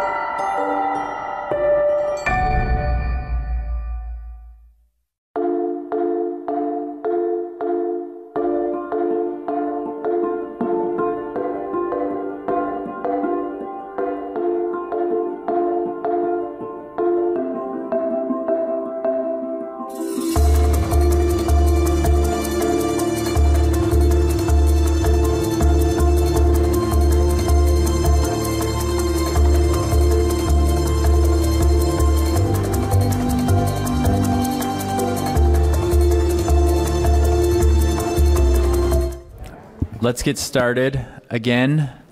Thank you, council members, for coming back on time. Uh, we're on item number eight. Number eight is our follow up discussion on the accessory dwelling unit text amendments. Um, I do think we still have a lot to talk about. We'll have Brian Fullmer, council policy analyst, here to give us a brief introduction. We have Nick Norris and Michael McNamee from the planning division available to assist us in this discussion. You don't have another presentation, do you? Okay. Here to answer questions. Sounds good. Go ahead, Brian. Thank you, Mr. Chair. This is a follow-up to the January 17th, 2023 accessory dwelling unit or ADU briefing. During that briefing, the council discussion was primarily focused on the following five topics. Off-street parking, maximum ADU size, an owner occupancy requirement, required setbacks, and whether to keep the conditional use requirement. The series of optional straw polls is at each of your places and included on pages one and two of the council staff report. As a reminder, a public hearing is scheduled for tonight's formal meeting with a potential vote February 21st. Also, information about the proposal is available at tinyurl.com slash ADU text amendment. As you mentioned, Michael McNamee and Nick Norris from the Planning Division are here and are able to answer questions the council may have. Mr. Chair, where would you like to go from here? So, uh, first, thank you for reminding us that we have a public hearing tonight on this. So, uh, as we discuss this, I think it is important for us to say where our minds are at um, and discuss, like, if we have where where each of the council members are. And I think that's good to give the public that information so that when they come to our public hearing, they can address some of those specific things that we are still deliberating. Um, Obviously, as with any public hearing, we, we say these are straw polls. As with any straw poll, and anytime there's a public hearing, that public hearing may change our mind entirely from what we what we quote unquote vote in these straw polls. So I just want to put that out there for the public that that we're still very much discussing, and these are the five things that we're currently still trying to see where we land on. Um, obviously, come tonight tell us anything that you want to tell us about the AD ordinance, but these are the topics that are rolling around in our brains that would be the most helpful for us to hear from the public on tonight. Mr. Chair, may I ask a logistical question? Go ahead. Um, do you, do we just sort of plan on going down this I would like list that to we go have? through this list Okay. first because they're the ones that were identified at the last. And if we still have time at the end and other counselors want to bring up additional things, I would like to do those at the end of after we can get to at least some sort of idea of at least we all know what we're talking about with these five things. And you may have said that, and I was not paying attention. I I apologize, don't think Mr. I did, Chair. so thank you for the question. So I think we should just go down the list if that's okay, Brian. So the first one is parking. And um, the way that I see this issue is that, okay, ADUs in all cases are required to provide one additional off-street parking spot. There are five exceptions to that that are listed in the proposed ordinance. And these three, um, and it sounds like there are three, to my recollection of the conversation, there were three that we were discussing whether to keep or remove those. those. Councilor Fowler. Sorry, quick question. Um, just to remind me, a, a minimum of one off-street parking space, that's not in addition to? It is in addition to what's required for the primary dwelling. So if your zoning district requires you to have two off-street parking spaces, you need one additional to build the ADU. But there were those five ways you can get that, that requirement waived, and that's what we need to decide whether we want to keep those or remove them. And the three that I remember, the first one I remember is um, quarter mile of a transit stop. If you if the property is within one quarter mile of the transit stop, they do not have to provide that additional. That's proposed. Um, I would like to keep that. I think that that one makes sense, and that that falls in line with a lot of our other ordinances. Uh, is there anyone that would like to propose a different position on that? Yeah, I I understand the, the desire because I'm all about the clean air and all about using public transportation is I kind of sometimes look at, and we've had this discussion about, you know, the chicken and egg. We want to make sure that we have a robust public transportation system, and we don't, we're not there yet across the city and then across a number of cities, uh, city streets. And so I have, I have, trouble with that one uh, just because of that. Uh, the the services are not where they need to be for people to use public transportation on a reliable basis. But I also understand that we can't get there unless we have the demand for those buses and transportation. So I'm uh, I'm on the uh, I'm still deciding if that is a, a hard requirement or not for the quarter mile of the bus. Councilmember Petro. I think the data we've already collected demonstrates that the people most interested in actually executing on ADUs are people around Liberty Park, and we're trending towards smaller lot sizes. This is an onerous barrier potentially for the lot sizes that we're talking about who tend to actually use ADUs. So, for once, we're on opposite sides, and I'm all for the not designated parking. Councilmember Fowler? It sounds like Councilmember Petro's interested in keeping the quarter mile exception. Councilmember Dugan is interested in removing it. Am I putting words in your mouth? I do Okay. not. I do not need a dedicated parking spot. On on street parking is fine for ADUs. And I'm with Councilmember Valdemoros. Councilmember Wharton? Um, I Or also Councilmember Petro. sorry. We all look alike. Councilmember Wharton, I'm sorry. Okay. So I also have concerns just because um, the um, the unique problems of having the very very small blocks and small streets and the avenues and um, the uh, s- steepness of the inclines in avenues. So, so my I have two things, and it's not the small lots are an issue in any historic area of my district. So that would be from Guadalupe to Marmalade to um, avenues, and I'm still concerned about an ability of a person that has potential mobility challenges being able to do that. Um, however, um, I am more concerned about the bike.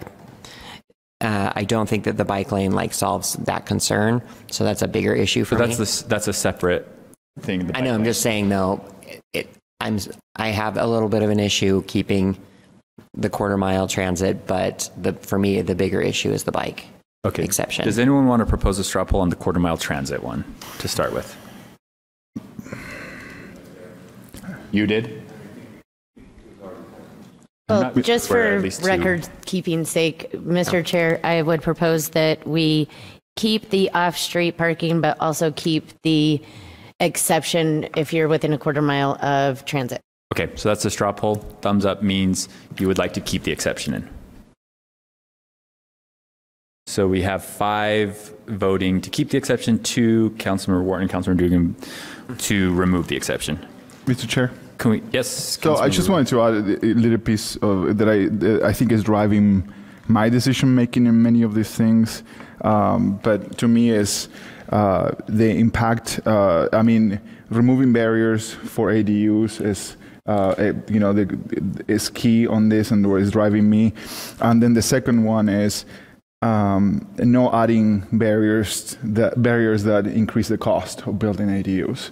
Um, so just to me, those two pieces are the ones that are, you know, uh, educating me on how to how to decide on these things.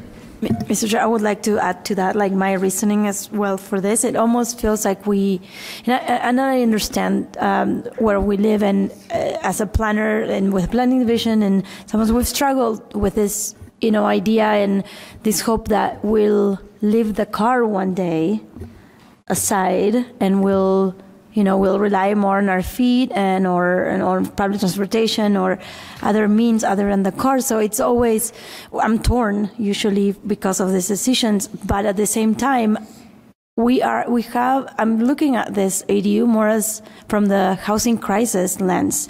So i'm thinking okay so it's more so for some or for this decision is it more important to have a parking spot than an adu where somebody can live in And to me, the answer, if I have to answer that question, it's clear. I'd rather have the ADU where somebody can live in than having the parking spot in that commodity in a way, you know, the comfortableness of having somewhere to park your car. It's better that somebody's inside house than uh, without a car than than the car. So that's where I'm coming from and how I see. Thanks, Councilmember Valdemoros. Okay, so the next one's very similar. It's if you're within a half mile of a city designated bike route. So without rehashing all the same arguments, is there any additional discussion specific to bike routes and not public transportation that people would like to bring up? Well, No, how we ha- being phrased? Uh, so I know which direction to. No, no straw poll has been.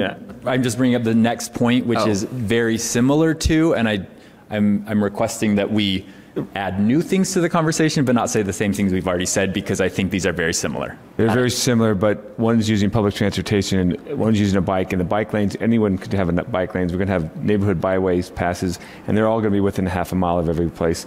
And people can't aren't using their bicycle to get to work all winter long, hot summer months, and so that portion is not there. They're using the bikes for more exercise and more leisurely, and not for public, not for transportation to and from a work environment.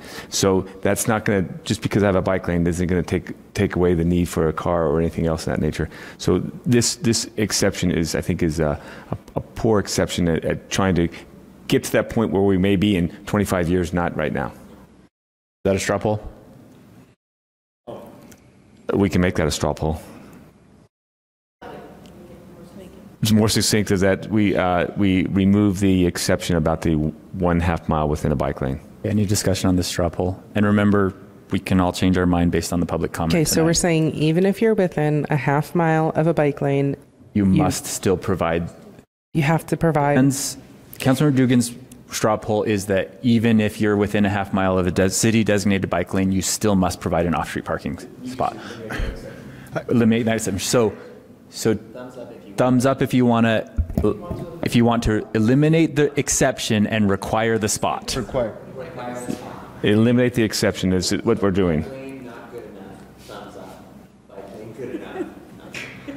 Don't care about the parking spot. Where's my thumb go?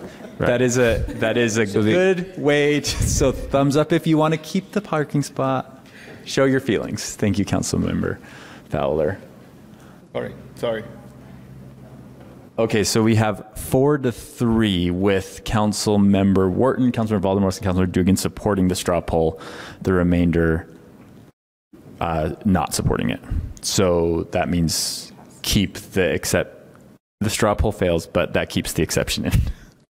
Okay, the third one that I think is still is Better be relevant. seeing all of you biking to work all week next week. If y'all could help me with some West Side bike security so that I don't get seven and eight bikes stolen in a year, we could talk. Okay, okay, okay. Let's stay on track.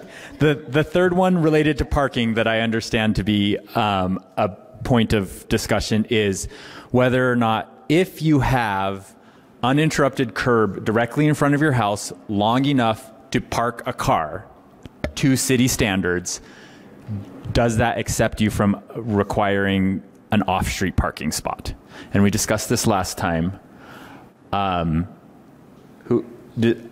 Which one it- are you a number? Uh, you're a B, sorry, letter B, or Um, which one are you discussing? It's not on. Oh, it's not. On the, okay, it's not in this. Oh, it might be on that list.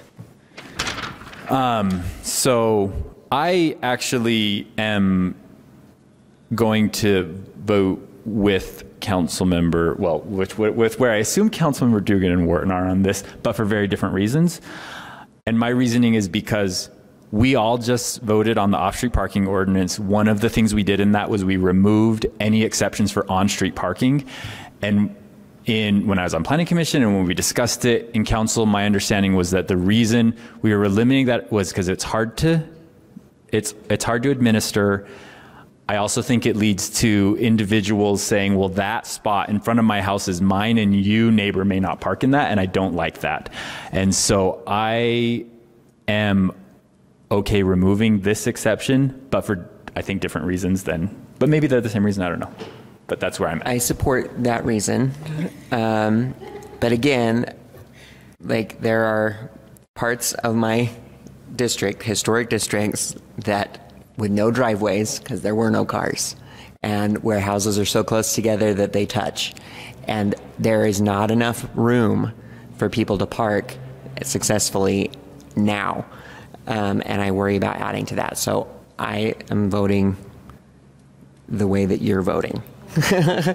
um, at, because of the, uh, we can't change these things about these neighborhoods because of the, the historic housing. Councilmember So that's where I am on that.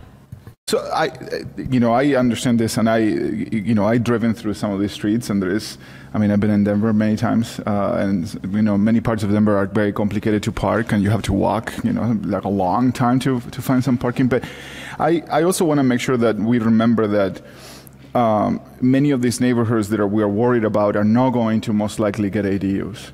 Uh, so we are basically preempting many other parts of the city that will have likeliness to have ADUs. So we are making it harder for areas that could have ADUs by removing some of these exceptions. So basically, we are uh, thinking about these neighborhoods, specific parts of the of the city, um, but you know, the likeliness that there is going to be many ADUs in this in the street, and it's going to change the whole shape of you know that you know that street, uh, and we're going to have dozens of extra cars, or even two or more, three more cars is very unlikely. And removing the exception again.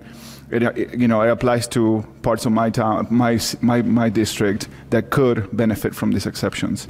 Um, so I want to make sure that we remember that this, these rules apply, you know, that we are trying to preempt um, a problem that might not exist, uh, it might not happen. And, and the city showed us with data that these problems don't exist. Is there anyone that does not understand the exception? Well, if there were a way to write this so that it that areas where there are larger blocks and is more spaces between houses um, had a different uh, there was some way to adjust that um, that would make that would work for me. Um, because I don't want to my you know my no vote to take away from areas in your neighborhoods that could accommodate those cars, but I don't have that option in front of me, and I don't know how to craft that option. Um, and I don't know how to do that either. and I don't. Councilmember Fowler? I- I- It, it's not that. It's that parking is already um, stopping people from being able to live in the area. So it's not uh, about adding many cars, but adding like any more cars. It's already not working. So I wish that I didn't, you know, have to like take something away from the residents that have that option or the neighborhoods that have more space. But there's no way for me to do that. Councilmember Fowler. Mr. Chair, to that point, I'm wondering, because you brought up a good point before I had to run out real quick, but um, there are many neighborhood, many areas within my district similarly that just don't have driveways. And so I w- I wonder if we could craft, to your point, craft something that says, you know, if there isn't a driveway, you have to provide there has to somehow be a spot. I, I don't know what that looks like either, but I can see the concern on both sides of me. And I know we have really incredibly talented and creative thinkers in planning and the and the city attorney's office. So I'm sure that there could be something that. Uh, Don't send it back to the drafting up. board. but I think that that I think it would be a quick fix of like maybe not a quick fix, but looking at something of saying it. There's there's got to be something there that accommodates for both of the, these things. The way I see it is this exception is helpful in cases where it would be geometrically very difficult to provide that off-street parking spot. And that, I'm arguing your point, so. so, in the case where there are larger lots, it's not going to be that hard for them to provide the off-street parking spot. So I'm okay saying that that larger lot, yes, it may have enough space in front of their property to park a car, but it probably also has enough space. And so, so they can do an off-street parking spot. They, they probably could accommodate that. Whereas, but what we're saying is that in lots like Chris's district, where he's discussing where the lots are smaller and it would be hard to put provide the off-street parking spot, we're not allowing that exception. My belief is that the other exceptions that we have kept in there will cover most of those situations that we have proposed to keep in there. Well, yeah. Well, I, so anyway, I think we're holding hope, huh? We're Are we ready for a essentially- straw poll on this? I think if we we are. say that you have to dedicate off-street parking, especially in places where there is no driveway to speak of, we're essentially eliminating ADUs as a possibility for that area. No. If they can qualify for a different exception, they still don't have to provide it. Correct. So this is only if they are outside of that quarter mile, the half mile, all the other things that we said, and they could, they have that spot, but then they, does that make sense? Because I feel like the other point to be made here is that the lower avenues probably is under similar gentrification pressures that Rose Park is under. Mhm. And you probably have homeowners there holding on with their fingernails to a generational real estate investment for whom an ADU could potentially provide a vibrant lifeline to maintaining housing for their family generationally. Yes. And so I don't want to inadvertently shut the door on that because we didn't get creative thinking about parking in this moment. Thank you. So, but it's a tension that is difficult to balance right now.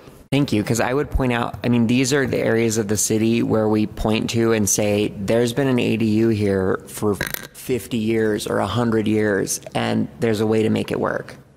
So, you know, people in the lower avenues are prepared to have ADUs. We have houses that are stacked on each other, um, full houses, um, and in Marmalade as well. So it's not that people are opposed to um, to that dense to that density, but there there has to be a way to make it work. Um, and I don't feel like this this particular parking requirement is conducive to making it work. Thank you. I think we're ready for a straw poll. Does anyone want to propose that? I want to, I have a question about straw polling because I cannot find the, you asked if, some- if everybody was clear about this and I am not. And so I don't want to straw poll, like I don't want to vote. my yeah, so or this cast a vote, Because this, I'm does going not by, include that thing. Yeah, that's what I That thought, one that we're I- talking about right now. and so I, you go ahead with the straw poll, but I would like to not, Fine. not vote on this straw poll because it's not, It doesn't matter. It's okay. It's okay. All right. So, Councilmember Puy, no. Well, this is obviously a logic game that I, I one of the reasons why I didn't go to law school. But I, um, so now the question is, can we- to me, can we figure out a way to? Is there a way to find an answer to these questions that were brought up here? Like, are there ways to like segregate some parts of town or not? Is that doable? Uh, and by doable, is it a you know, can we? Uh, Not make segregation our goal. Sorry for my choice of words. So, I, I mean, I, I can provide some context on some of these older areas that found ways to make it work. And the way that we made it work is that our zoning didn't regulate these things, it allowed it. I mean, that's just the truth, right? We didn't have a parking ordinance until the 50s. So anything built prior to that was providing parking on their own merits without any city requirement. So if you have a lower avenues where the predominant development occurred prior to 1950, any parking was not required by code. It was just done because that's how people developed. It's also important to note that we had a very extensive streetcar system, and we didn't necessarily need to worry about parking, um, off-street parking, as early as other cities did. So. Okay, Yes, ahead. thank you, Nick. Mules. So, I guess I can make the straw poll. I propose that we remove the exception for on-street parking from the list. Off-street parking. On-street on- parking on- to okay. remove your off-street parking requirement. Talk about logic. And again, my reasoning is different than others, and you can choose not to.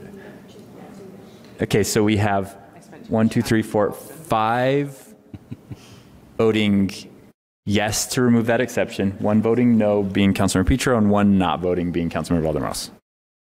Okay, can we move on from parking, or does anyone want to talk about parking for another 20 minutes? Dan Dugan. Okay. Um, size is the next item. The planning staff had originally proposed seven, the current ordinance is 650. Um, the planning staff's original recommendation was 720. The planning commission forwarded us a recommendation of 1,000, as well as an exception for 12,000 square feet if your lot is larger than 1,200 square feet if your lot is larger than 12,000 square feet. Um, and we've talked about this extensively, I think. So it's two separate questions. One, do is the base restriction 720 or 1,000? And two, do we give another exception to larger lots to build larger ADUs? So I think they're two separate questions. Councilor Mpui. So I, I, I want to advocate for um, something that you said. Um, you know, I'm not gonna, you know, put words in your mouth, but I, I mean, you did say these words. Um, so, Great. but but that you know your property rights and then your property line, um, and uh, and I, I believe that we, as a city, we're working very hard on trying to create family uh, family size housing. Um, and uh, you know, pretty much everything we do is trying to find ways of, uh, you know, allowing uh, you know young families or, or families to live in our city, and by reducing the size, we are making a case that you know that we don't want those. Um, again, I think we're trying to. If we are against this, the size of this, we're uh, actually limiting people that could potentially create one family, one, one, one ADU that is the size of, that could allow a family to live in. Um, just for the fear that all of the ADUs are going to be 1,200 square feet or 1,000 square feet. Um, so to me, uh, those two are, you know, hand in hand, even though there are two questions. I'm okay on allowing uh, size to go, uh, you know, to 1,000, and then if the lot is high, to, to allow for 1,200 Can we vote on those? Can we discuss those separately, Yeah. though? So first, going from 720 to 1,000 is the base requirement. Um, and I think it's important to note that just because that's the maximum allowed, that doesn't mean every lot would have a 1,000 square foot thing. If it's a smaller lot, you still have setbacks and heights that would restrict it to potentially less than that, and separation from the primary structure and all that. I feel like giving our very skillful planning division as much latitude to make good decisions is in our best interest and it streamlines things. So if they can accommodate up to a thousand on the property, these people are skillful enough to help us navigate that and they don't have to go to anyone else to consult, don't have to do refusals. Let's do that. Mr. Chair, can I ask a Councilmember question? Fowler, yes. Um, and this is for planning. Like, where did 720 come from, question. and where did a thousand come from? Was it like, I mean, Question. In some ways, I feel like Planning Commission may have just picked a number out of a hat, but I feel also that 720 may have come from somewhere. Uh, so I can speak to where the 720 came from. Um, so that matches the current allowed maximum for other accessory structures in single-family residential districts. Okay. Like, like a garage. Okay. Or a shed. Why we picked that, um, and the idea was what we allowed for ADUs was smaller than what you could get for a garage, and so we wanted to at least match what you could do for a garage. And then when we took it to Planning Commission, um, the commission felt that that wasn't large enough for a family-sized unit, so that's why they suggested. And, And if I may, because I don't, so the discussion for the planning commission was more about this family-sized unit that you'd need a thousand for a family-sized unit. Yeah, I don't know that for me that's the intent of an ADU necessarily, but that's just. I think that's the policy question. Is that the intent or not? I mean, my uh, what we've always talked about in some ways is like me. It's there for supplemental income. Do lots of lots of questions there, I think, but I don't know that my intent ever was to look at this of like putting another home. I was just telling Chris, and again, I know there's other requirements and things like that, but the house I live in right now is 900 square feet. So if all the and but, but it's a huge lot. So then the there you could have an ADU bigger than the house I live in behind my house potentially. A given yes that there's other setbacks and things like that. I understand all that. Uh, yeah. so I, I- don't know that that was the intent other than for me the intent was saying uh, allowing the things that we already allow I mean not already allow but already exist like mother-in-law apartments right? That sort of have that one bedroom, one bath area or something along those lines. Anyway, so I, I would stick to the planning staff recommendation of 720. Um, Ruppel. huh? Ruppel? We, I have a question. Okay. For the staff. I, I'm just throwing it out there. I can shuffle. Go So through this. Is I appreciate the explanation about the 720 being based on something. Is there, um, like, I understand we're not talking about standardized things, like, but does it make sense to go from 720 to 1,000? Like, what does that, what does that mean or translate to in terms of of an ADU? It's it doesn't seem like that's another bedroom. It's just what? It would Yeah, it be. is. Is it? Yeah. At Okay. least, if not more. Yeah. Okay. So, I mean, does it make sense to jump? Um, well, I guess that's a policy question. Um, Is there something that, for me, it's not about creating family housing like that? It's about having the a smaller house on the property. So does it make sense to increase from 720 to something that isn't a two bedroom or do you just keep it at 720? Does that make sense? I guess I, I think that's a question for us. Yeah. Well, is this ordinance supposed to create family housing? And if we say no, then we should keep it at 720. If we say yes, then we should go up. And I think we might all be at different places on that. And I think for valid reasons on all sides. Okay, but I want to know like it do if I throw out like no, 720 is not enough and a hundred a thousand's too much. It should be 800. Like is that based in anything? Um, well, putting on an architect hat, I would say 720 is pretty comfortable for a two bedroom, but not huge. Uh, but it's not probably big enough for a three bedroom. So if what if the goal of the ordinance is to make, and that's just me throwing things out in the air, but like I would probably have a relatively hard time getting three bedrooms out of a 720 footprint. But a thousand square feet, I definitely can get three bedrooms out of it. Okay. So So for me that's too much then. Um, I just wonder if if there were other reasons to enlarging from 720 to 750 or 800 or whatever. Uh, to make it cost more. but like, I, don't- I don't think that's the reason. I think the reason is to make it for more housing. So, and that's also not a good reason for me. yeah, not a good reason at all. But I'm saying, Okay, so uh, I guess that's kind of what I'm asking is like, what are the other arguments out there? And I appreciate everyone going on this journey with me. um, so unless there are, is some other compelling reason that I'm not thinking of and that hasn't been discussed, I would like to keep it at 720. Councilor Puy, I just we want to add, it? I want to add a little piece to this, and I think that again, uh, uh, all of us have like different, you know, points of views, and they're very valid on this. I, you know, I just judging it from what I see in my neighborhood. Most of the housing that is being done in uh, in most of the city, but specifically in my in my part of town, is studios and you know one bedroom. Uh, and our schools are struggling, and, and you know, so we are we are in a huge need for for housing for families, uh, and if this will allow an ADU here and there for a small family to start, I think that we shouldn't get on the way of that. Okay. Uh, so that is my argument. Yep. I think the question is I'll propose a straw poll. I would like this to be a tool that can create multiple kinds of housing, including family size housing. So I'll propose a straw poll that we, we support the 1,000 square feet. Okay, so that's four yes, three no, no's being Councilmember Fowler, Councilmember Wharton, and Councilmember Dugan. Um, the second question on the size, and I, I'm going to try and make us go a little faster because we're, we're going along, is whether or not we want to give an additional 200 square feet of allowance if your lot is over 12,000 square feet. I'm going to say no on this because I think it's just a tool for, I, I, I don't, I don't, I think it's a tool that rewards only a very specific part of the community and, and really isn't useful.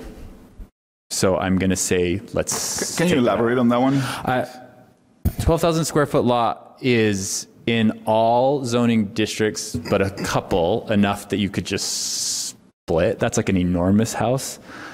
Um, I don't necessarily think we should reward, we should say, because your lot is huge, you can go above this standard that we think is good for a three bedroom. I just think,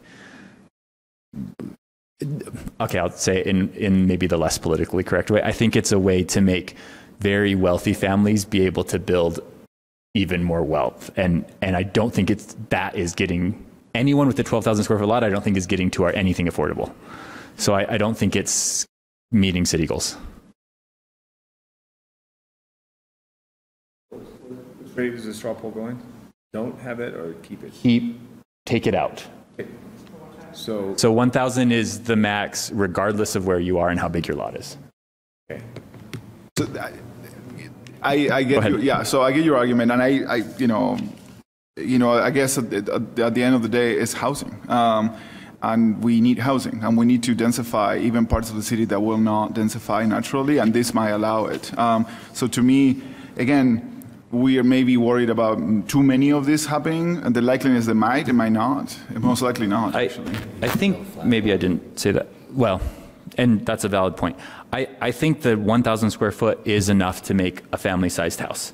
And so if that's our goal, I think that's fine. I think 12,000, 1,200 square feet doesn't make it necessarily better for family sized housing. It might make it really great for a really swanky pool house. And that's not the goal. that I straw want. poll is to, we scratch that one. Scratch the 12,000. Oh, yes, if you want to scratch that. Correct. Okay. Yes to take it out. I was, I was doing that because I think Chris was at it backwards. Oh, wow. We're all on the same page on that one? Okay.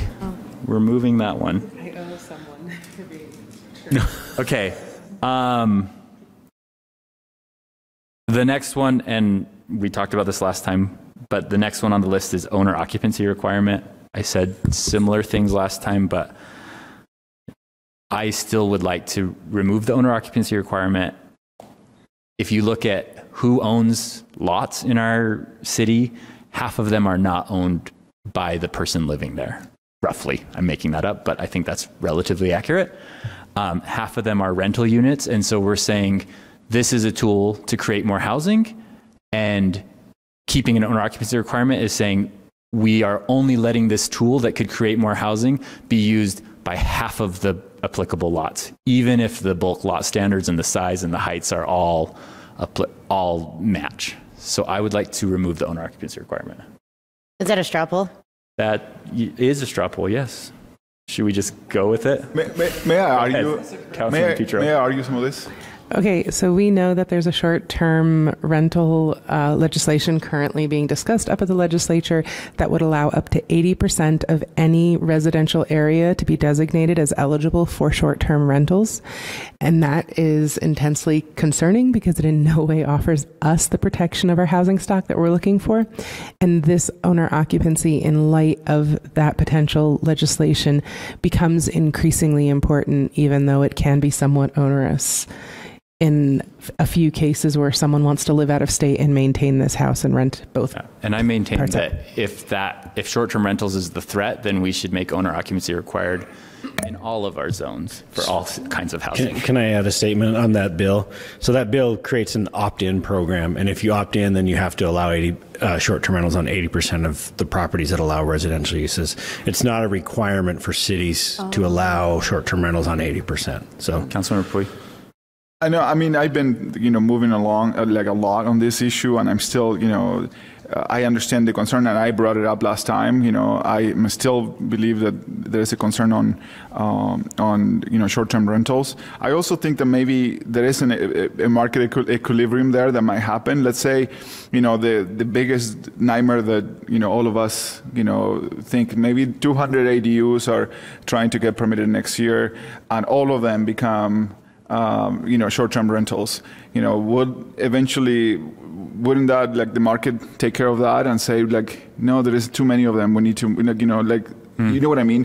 So I, maybe we just need to just uh, remove the requirement uh, and, and, and see how it goes. Um, but I also very concerned about it. Um, I'm very concerned about you know where the legislature is going with this. I don't like that bill that is being discussed. I think it's horrendous, and um, I am nervous because I don't want to see all the housing, all the ADUs being used by many out-of-state companies that are buying them and putting them in, in, in, the market and removing it from housing. So I'm throwing all of these things there. Uh, because I still don't know what, how to vote. So I think the data out of California, which is the state that has gone the furthest with ADUs, I believe, is showing. Someone needs to fact check this, but that most of them are not being used for short, short-term rentals, and that when you took away the owner occupancy requirement, that's really when the production of ADUs went up a lot because you're now opening it to twice as many people, not just people that live in their house and intend to stay living in their house. You're opening it up to also people who own a house but are renting it out to a family right now and would like to rent that land out to two families.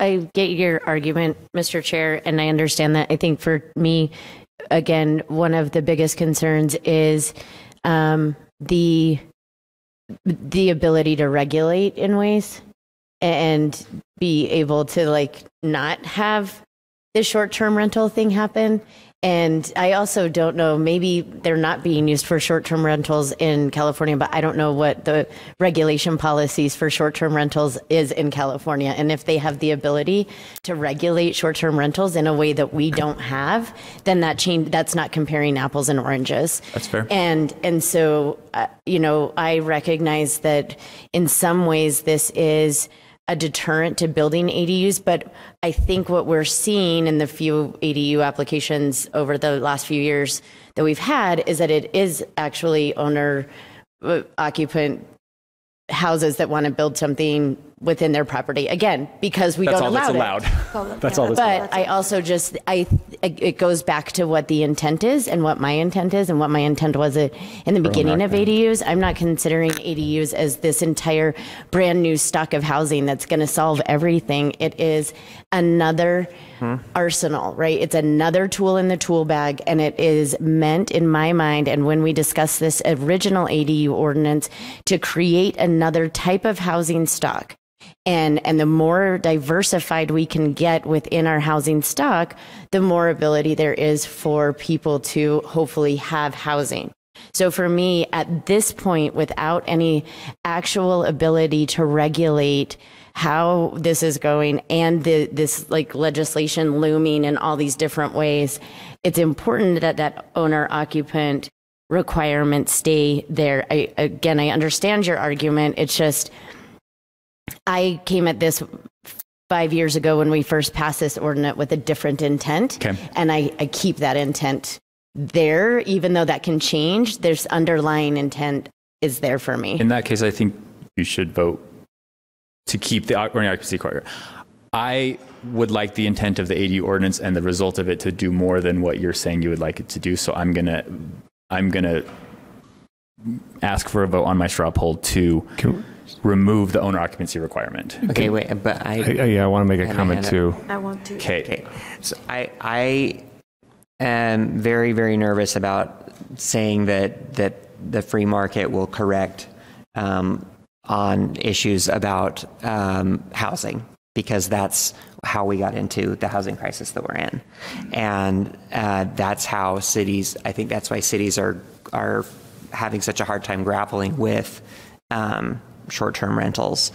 Um, what what my residents are asking for is they're saying, I I'm a senior. I'm on a fixed income. I need ability to age in place and supplement my income, and I have a yard that I can use to add to the housing crisis. Or I have young couples that are saying um, it would. We also want to to add um, we, a unit to our property, and that would help us be able to afford the rising costs of home ownership. Um, and that those are the people that um, I'm trying to, to protect on one side of the spectrum. The other people I'm trying to protect are renters. We have a very limited ability as a city in the state of Utah to protect renters and to ensure that they have decent conditions. One way that we can increase the likelihood that they will have better conditions is that their owner is right there, that the owner of their property is right there and having to share the same space with them. Um, and also ensuring and so that's the third group that I'm protecting. And then the last one is neighborhoods. We need to have neighborhoods that have a mix of renters and owners. And if we to remove the home uh, owner occupancy requirement, then we incentivize or open up the gate for for um, companies to come and buy up huge sections of neighborhoods to turn all of those houses into rentals and then to turn put ADUs in backyards of all of those houses. That is not what I want to see for Salt Lake City, and that is contrary to the goals of, of our housing plan. And Mr. Chair, I, I, I just want to add to, I agree with Councilmember Fowler and, and Wharton and their comments, but I also believe that, uh, you know, having the owner occupied requirement, that does give them the, now they have, they're in the house there, they're going to build a, a accessory dwelling unit that, that really matches and meets the needs of the neighborhood and their house. And if you just have a developer, he may just build something that's not really compatible to even that primary residency. So I think there's some there's some buy-in with that owner occupancy. But I think all Councilmember other Fa- so pieces of the ordinance so speak to though. Mr. Chair. But I, so I, I can we just vote on this one? No, I, I want a, a friendly, the comments because I agree with it. we, we've all yes. kind of like a kind of like Can a it be a new friendly addition to your to your straw poll. You know what I don't want it to happen. So is what happened before, and that's why we're reviewing this. We opened this ADU ordinance. Uh, we opened this idea so that people could do that, and then we didn't have anything for four years, like nothing significant, and and the uh, significant number of applications to you know to um, to do what we want it to do. So I don't want this again to be next, you know, be here in a couple years and ask Nick, Nick, how many applications you got? I just got four. Like that's, I don't want that to happen because then we're wasting everybody's time. At the same time, it would be nice to, if we go, and I understand all the reasons, if we, if we keep that owner occupancy requirement, I would like to make it a system for the planning division to, need to come every year and say, hey, this year, we only had 10 and the, the reasons are econom- economics uh, or really like it, we're too restrictive nobody wants to do it so maybe we do need to open it up. But it shouldn't be this whole thing about you know like uh, this huge thing two hours of discussion worth of this but worth of worth of our time, but something for Nick to report to us, and then we can make decisions and adjust this ADU ordinances as, as, as we go, you know, how society goes and how life goes and what we experience in real life uh, when we get uh, permits and stuff. So my addition to your straw poll, sorry, no, I guess it's not, yeah, never mind, I guess not Let's that. just Let's straw poll to that and then go, uh, go back to, yes if you would like to remove the owner occupancy requirement. and I would like to do that. Please share your feelings. No, no. Two yes, being count myself and Councilmember Puy, and the rest no. Okay. Um, And I want to, a new straw poll. okay. Count, go The ahead, new straw Councilmember. poll is that we do keep that requirement, um, the owner occupancy requirement in, but within 12 months, we ask the planning division to report on how many ADUs, uh, ADU applications have uh, been applied for, and to give us a summary of why we have so many or why we have so little, and a few reasons. That's already So- a requirement. They have an- That is- I'm do have confused. that. Yeah, we have an annual requirement for review. Okay. If we do, then But I think maybe the straw poll is that we as a council review this specific piece in 12 months I would say based on that. I would, I would like to bump that up to two or three years because you, when one year process is going to be a, not really going to give you that much data points. What so do I we want to get back from planning? What information? if all of these restrictions worked out or not for, for our purposes. Like, are ADUs being built or are they not? Because we are so restrictive that nobody wants to do it. And therefore, our purpose of having ADUs is null. Like, why do we even have an And I, ordinance? I think it would have been great to remove the condition and, s- and ask And in planning it did how many of them were actually, you know, owner occupied uh, and which ones weren't. Um, and then we can close it back, uh, you know, if that was the case. But I, I mean, th- that to me would have been an int- a way to go. But I, I understand what you propose that straw poll. Can I, can I make a couple of comments? So it's right. We do have a reporting requirement in our code.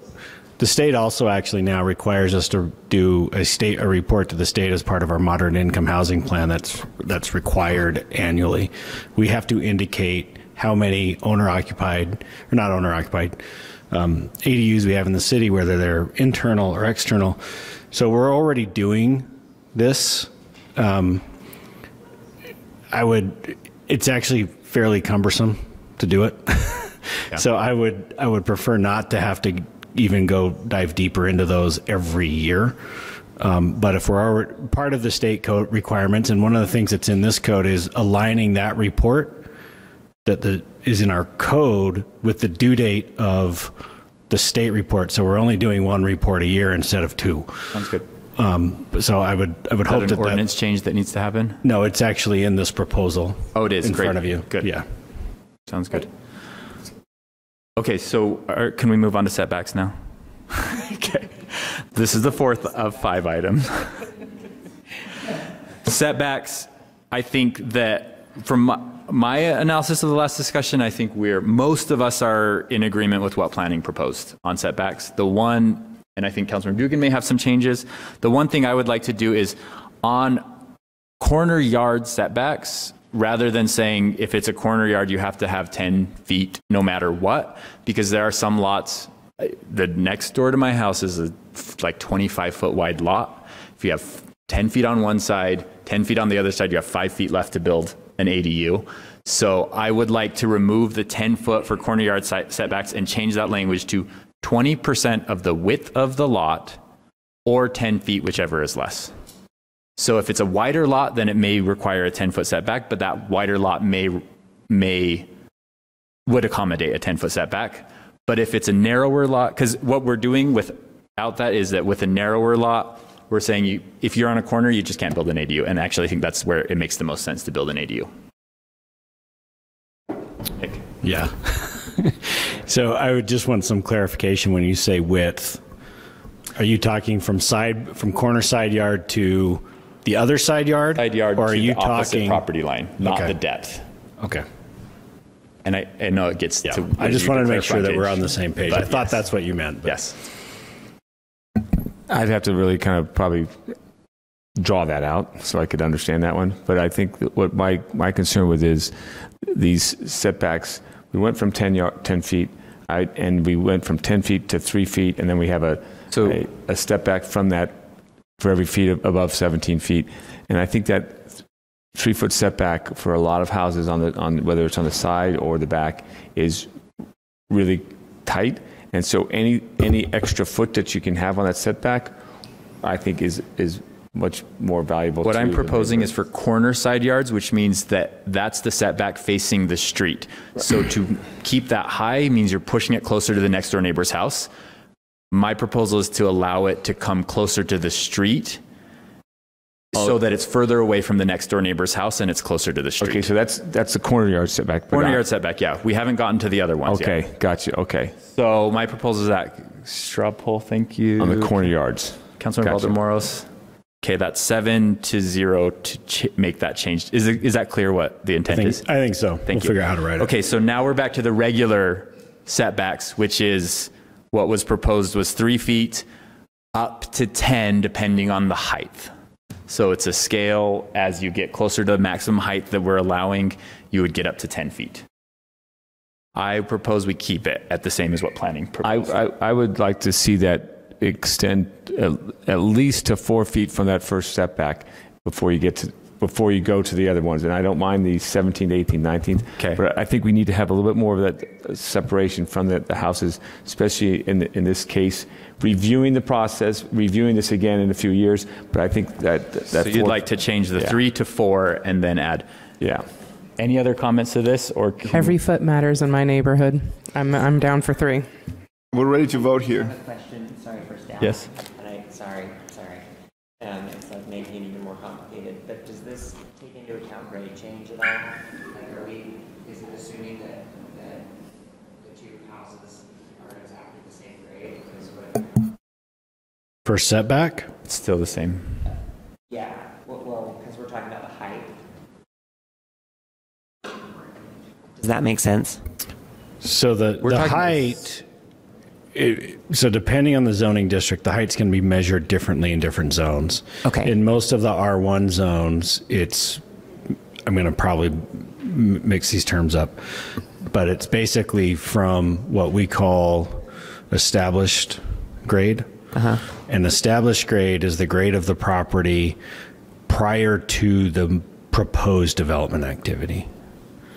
Okay. In other zones that aren't single family zones, it's measured from, and I might get either established or finished mixed up here, but the intent is uh, the others, it, it's from, um, we, we actually average the grade, right? So it, it's it's done a little bit differently in like a commercial zone or or a multifamily zone versus a single family zone.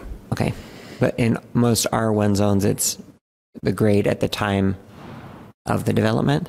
No, no, it's it's at the time of the last development activity. Oh, okay. So if somebody came in and built a garage and they're allowed to do some grade changes and they did that, Uh-huh. then that establishes the new grade that we Okay. measure height if they were to make additional changes. Okay, I'm okay with it. Okay, keep the setbacks as proposed by planning. We have six voting yes, one voting no, with that being Councilmember Dugan. We're on to the last one. I- And I hope there's no additionals, but um, removing the conditional use requirement. So the planning staff and the planning commission both recommended, forwarded a proposal that we remove the conditional use permit. My understanding is that is the actual complete genesis of this whole time we're reviewing this. Um, and so I would propose that we make it a permitted use. Uh, I could, do you want me to? I, I, in a, Go ahead, go ahead, go ahead, Councilmember Wharton. I'm sorry. I just Okay, so I feel like I need to explain because. I was the one who was talking about the Yes, conditional uses at the last meeting. Um, I think that when we created the ADU ordinance, um, having the conditional use requirement was the right thing to do. I think we learned a lot about how to how to build ADUs in Salt Lake City and how to do them well. Um, and but I think now that we have learned that information and we've gathered a lot of data um, that has informed a lot of the decisions we're making today, that I feel that these other protections are adequate to, um, and I think that the biggest concern, one of the biggest um, cost sucks for people was the staff time that going into the conditional use. And so I, I feel comfortable getting rid of that now, um, given the information that we learned and given um, these addition that have really informed these additional requirements for our city specifically. So, in in I'm I feel like I am bargaining in good faith because I do want to solve the problem as well, and so for that reason, I would also um, vote yes. Thank you. Okay, so seven to zero. Thank you. That's the last of the list. Uh, not yet. Damn it. I mean, shoot. Sorry. I broke the rules of decorum. There's probably been worse things. Councilmember Dugan. I'm gonna I'm gonna ask planning to to uh, this is on the height of the ADU, and I want to to explain uh, a detached garage, its setback and its height requirements uh, on this, and then the change that we've made here to the height of an ADU compared to the primary unit, primary dwelling. Okay. Um, so on the second question, are you asking for a comparison of the current ADU requirements to the? Okay. Um, so I'll start with the garage. Um, so it is regulated differently depending on the zoning district. In single-family zones, um, you can have a height of up to 12 feet for a flat roof, 17 feet for a pitched roof, um, unless your principal structure is taller, in which case you can go up to 75% of the height of the principal structure, up to 21 feet. Um, and that setback would be one foot from the side and rear property lines. So a detached garage could go up to uh, 21 feet would be the maximum allowable. Yes, if that were less than 75% of the height of the principal building. Right, and the height of the principal house in the single families is 24 feet, or is that also? that is- Generally, it's Right, So that's where the seven- That also varies by zone. So, for example, it, um, in the R1 zones, it's um, if it's pitched roof, it's 28 feet measured to the peak of the pitch. If it's flat roof, it's 20. Uh, in the SR1A zone, which is mostly the Avenues Capitol Hill area, um, it's 23 feet for a pitched roof, and a flat roof, I think, is 16 um, or something like that. Um, so there's it varies as well, and it's also varies in the foothill zones. Okay. So there's there's a variety of different heights in different zoning districts. Okay. Does that answer the, the first question? Okay. Um, so on the second question, comparing the current requirements to the new ones, um, in a sense, they're the same. The base height allowance is 17 feet, and then you can go up to 24 feet with an increase in setback. Uh, the difference is how we treat the setback. Um, so under the current requirements, the base setback is four feet from side and rear. And then if you go above 17 feet in building height, then you immediately have to jump up to a 10 foot setback, unless you're abutting an alley, in which case you can keep a four foot setback on that side. Um, and when you compare that to the current requirements, it's a, uh, a ratio of the height. Um, so you can gradually increase the setback as the building height increases rather than jumping immediately to the increased But, setback. but also the current one, the, the new amendment allows you to go to 24 feet, even if that is higher than your primary dwelling. Yes. So the, the ADU Um, could actually be taller than your primary dwelling. Yeah, so that is another difference. Um, right now, you're limited to the height of the principal dwelling or less. Um, under the current proposal, uh, you would be allowed to go taller. Um, Yes. If you okay. were- And that's, that's, I'm inclined in that I would rather look at it that the uh, ADU could not be any higher than the primary dwelling height. Or, yes. I'm a very hard no on that because I think that says any single family, any single level house may not build an ADU above a garage, and that cuts out almost all of the historic properties in my district that are alley accessed for which an ADU above a garage is the most logical and efficient and least impactful for, form of construction. So that may help your district, but it would really, really harm my district. But you couldn't have an ADU above your detached garage if it had a one foot setback, correct? You could not. Nope. You would have to have a 10 foot setback if you're going up to that maximum of 24 feet. And I understand that there's some alleyways, so I can see maybe the exception for an alleyway, but I'm concerned about ADUs without, or houses without alleyways, and having that a, a larger unit behind the house, the primary dwelling unit. And that's my concern of the, the scalability of the, of the size. So, And there may be a way to resolve that concern, but it's not in a relation to the primary dwelling, if you ask me. I have two questions for staff on this. Um, so again, about grade changes, when you're talking about height of the house, because, you know, if you have, let's say you have a house that's like on the south end of the block in the avenues, and then you're building your ADU further up and it's up a hill, like, is it the height? Do you measure them from the same ground? The it, it, so the height's supposed to follow the contour of the earth in that in, in like the R1 zones and the SR1A zones. So there there's a there are uh, for principal dwellings there is an ability so when you have a cross slope to allow the downhill side to be slightly taller, right? But for the most part it it's supposed to follow the the slope of the earth. So it does take grade into account? Yes. Okay. And then, second question obviously, this wouldn't allow you to build like a three or four story ADU in your backyard, um, and you have your, your little one or two story house. What, if the ADU can be taller than the house, what's the maximum height taller that it could be, like realistically? Well, that's going to depend on the house, right? Because we don't know the height of every single house. But if you're like in a bungalow, the typical height is, you know, 14, 15 feet. Um, so if you had a large enough property to get to that 24 feet, then I guess it would be nine feet taller than than a, a bungalow. But that would be like a, sig- that would be an example of a significantly higher ADU. Right? That would be the most yeah. it could go above. Right. Okay. All right, I think. So is that a straw poll, Dan? Yes. And the straw poll Will be is that the ADU cannot be any higher than the primary dwelling okay. maximum. no as well. Okay, five to one with five to two. Okay. All right. Are we ready to move on? Yes. Yes. Okay. Um, we're going to bump item number 10 to next week, but we are currently on item number nine, which is the rezone at 130 North, 2100 West. That one stays. Uh, the local link discussion is not time sensitive, so we'll move that to next week.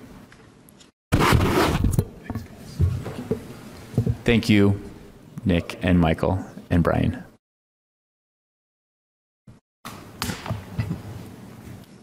Wait, so are we doing nine? We're doing nine. Okay. I'm just giving you a, a forewarning that we're going to bump 10 to next week since that took significantly longer.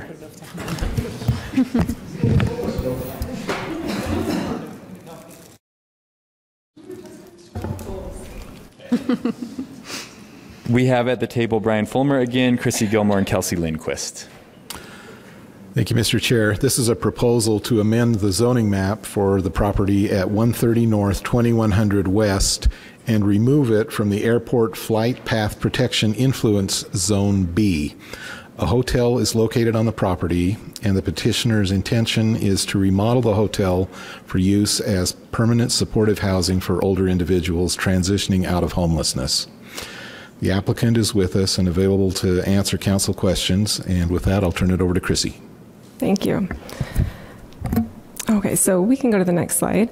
So as Brian mentioned, this is a request to um, amend the zoning map to remove the property at 130 North, 2100 West from the airport flight protection path influence zone B. Um, so if removed from influence zone B, the property would be subject to all zoning regulations in the underlying base zone, the TSA, TSA Mixed Use Employment Center transi- Transition Zone. Um, the primary impact is that those uses currently prohibited in the overlay zone would now be allowed um, if, if they are either a permitted or conditional use in the TSA zone. And this includes multifamily residential. And as mentioned, the petitioner is planning to use the site as permanent supportive housing for those transi- transitioning out of homelessness. So this amendment would allow that use. Um, the airport overlay zone B is less restrictive than zone A. So zone A, um, just to kind of go over these, zone A prohibits um, housing and then also prohibits institutional uses such as like rest homes, um, churches, schools. Zone B um, prohibits housing unless it's associated with agriculture, and then it also it does allow those institutional uses. So that's the biggest difference is that Zone B allows those institutional uses while Zone A prohibits them, and then Zone B allows commercial uses as well. Um, so another difference with the zoning map amendment would be that if it's removed from that overlay zone, it would remove all sound attenuation requirements. So this has been added in as a suggested condition of approval that those those requirements are still in place through a development agreement. And then I've included this map on the screen that shows the Zone B boundary. So Zone B is the north side of North Temple, and then Zone A comes to the south. Um, you can't really tell from this map, but then as you go to the east across the freeway is Zone C, which essentially allows all uses as long as there is proper sound attenuation. Um, next slide, please. So as far as key considerations, I'll just walk through planning staff's, um, you know, process of review and mindset as we as we got to recommend um, approval for this petition. So when reviewing the request, there was a concern regarding equity and supporting um, placing vulnerable populations in an area where we wouldn't otherwise support uh, market rate housing. And in response to those concerns, the applicant provided a noise study which showed that the levels associated with the airport, the noise levels associated with the airport, were actually lower than anticipated. And the highest um, noise impacts were actually from the freeway. And while pollution levels are still a concern um, from the freeway, Salt Lake City does allow per, um, permitted multifamily housing just on the other side of the freeway that has the exact same impact. Um, and then in review, we also found that the site was is in with walking distance um, of bus stops and TRAX, a TRAX stop. And then staff also reviewed broader city goals while um, analyzing the petition, such as Thriving in Place, the city's recent anti gentrification and displacement study, which showed that Salt Lake City is severely lacking um, deeply affordable housing and that production of those units should be a primary consideration moving forward. So while equity concerns um, you know, were brought to the front of our conversation with the noise report and the fact that permitted housing is allowed in similar conditions on the other side of the freeway, as well as that recommended conditional of approvals. Planning staff um, believes that these concerns are mitigated, mitigated in this request. And so, next slide, please. And so, with that, um, the Planning Commission forwarded a positive recommendation to the City Council that includes that um, suggested condition, condition, of approval that I mentioned that has to do with sound attenuation. Um, the applicant has already met those conditions. They're currently remodeling the building, but this would really come into play if the property is ever, you know, torn down and rebuilt, or if there's any additions to the structure. This would these would need to be met. And that concludes my presentation. Um, I do know the applicant is here if you had questions for them, or I can answer any questions. Councilmembers, any questions before we hear from the applicant? I have one. Oh, go ahead. Yeah, I don't have any questions, but I'm just, I love the line that the, the, the noise from the freeway is higher than the noise from the aircraft. Uh, so back to the I-15 expansion. It's 215 in that area that's causing. I, I know. But we could Which we could definitely even- reference the refusal from UDOT to put sound barriers out in West Point. Uh, So, Carol, could we have Yeah. the study because I, I need it for other things. So, so the, the exact point though, this is 215 and 15 would probably be a little bit louder, maybe. So, So- thank you. I appreciate that. I, I have no questions. I, My only question is, I, I appreciate that, and I think that the the request makes sense. And now that the study has been done, and we understand that that freeway is a much bigger impact to health, safety, and wellness of people living in that area than the airport is altogether. And I know this is an applicant, uh, uh, property owner initiated application, so they can only apply for their own property. But does it make sense for us to just look at a larger area to uh, open up to housing knowing that the airport actually doesn't affect that. So maybe that flight path overlay influence zone B is not warranted. And that's a that's a kind of a separate question, but just like does Mm-hmm. is that worth considering? Um, you know, I think we'd have to meet with the airport, you know, on a broader basis. But we did run this by um, the Division of Airports, and they didn't have concerns with this specific request. That said, I think we need to look at the airport master plan build out and see how that looks for for other properties. Okay. And I don't know that I'm saying that's a super high priority, do it right away, but like if that conversation happens, it seems like This is also the last quasi residential in the area. Everything else is like Northrop Grumman is out there. There's a lot of um, office space and industrial. It's all this, the 2200 West stuff is all the stuff that's like ancillary to the airport. So these are the two hotels that were not in use in the area that are now be, being converted to this necessary use. And I would just add, I think it would be challenging if we removed more properties from the overlay without requiring some sort of sound attenuation. So this is nice on a like a case to case basis, so that we can ensure that, that there's that makes quality living standards. That makes sense. I appreciate that. Uh, do we, Mr. Chair? Yes. Trees are very good for sound attenuation. We, you know, I, you know, I, everybody loves hearing uh, how much I talk about trees, uh, but I wonder if there is a way of encouraging the, you know, the the, the developer to, you know, plant a bunch of trees uh, and try to help. Uh, break that sound that it happens there. I mean, we go there sometimes too too many times uh, to eat in that area, and uh, and it is loud. But trees will help a lot. So I would love to to hear from the applicant and see if they're interested in putting a lot, lot of trees. great. Any other council member questions or thoughts before we let the applicant speak to us? Great. Um, I would like to ask the applicant if they're interested in speaking. If not, you don't have to, but Carol, did you want to come down? While she's on her way up, I do want to point out a little bit of an elephant in the room. Um, Carol and I have met exhaustively about this. Um, she was unaware of this airport overlay when she purchased it. And so we've discussed this. This is not something that should be expected regularly out of this council, and this airport overlay district should not be taken flippantly. Um, however, the confluence of her willingness to rectify the issues to protect the dignity of people who are living there and to meet a severe current need made it a consideration worth having right now. And so, Carol, thank you for meeting with me and discussing that, for meeting with the other council people and making sure we corrected this as quickly as possible. Yeah, thank you, uh, City Council. It's a pleasure to be with you today, and thank you, Chrissy, for the presentation. And Planning Commission really spent a lot of time reviewing this and thinking about this, I think, in a very thoughtful way. Obviously, concerned about precedent, um, concerned about the message that it sends about equity in our community. And I think they were exceptionally thoughtful in their review and the depth of the of the study of this, including taking time to go out and be at the site and kind of see what um, what it's like. I would just like to uh, talk about a couple of the uh, in detail about a, a, couple of the sound items that were mentioned. So, uh, from the sound study, one of the one of the interesting things is that the item that produced the most noise um, in close proximity to the building was an automobile speeding by and then a water truck passing by, both of which came in at around 67 decibels. And um, airplanes landing and taking off ranged between uh, about 52 decibels to 60 decibels, so they were less loud than that. And then I-215 generates kind of a continuous noise level of around 72 to 73 decibels um, adjacent to this property. And as uh, Chrissy mentioned, you know, immediately to the east of I-215 and all along North Temple there are multifamily housing developments that are both affordable and market rate. Um, I know as a city, North Temple is a big focus on housing development right now.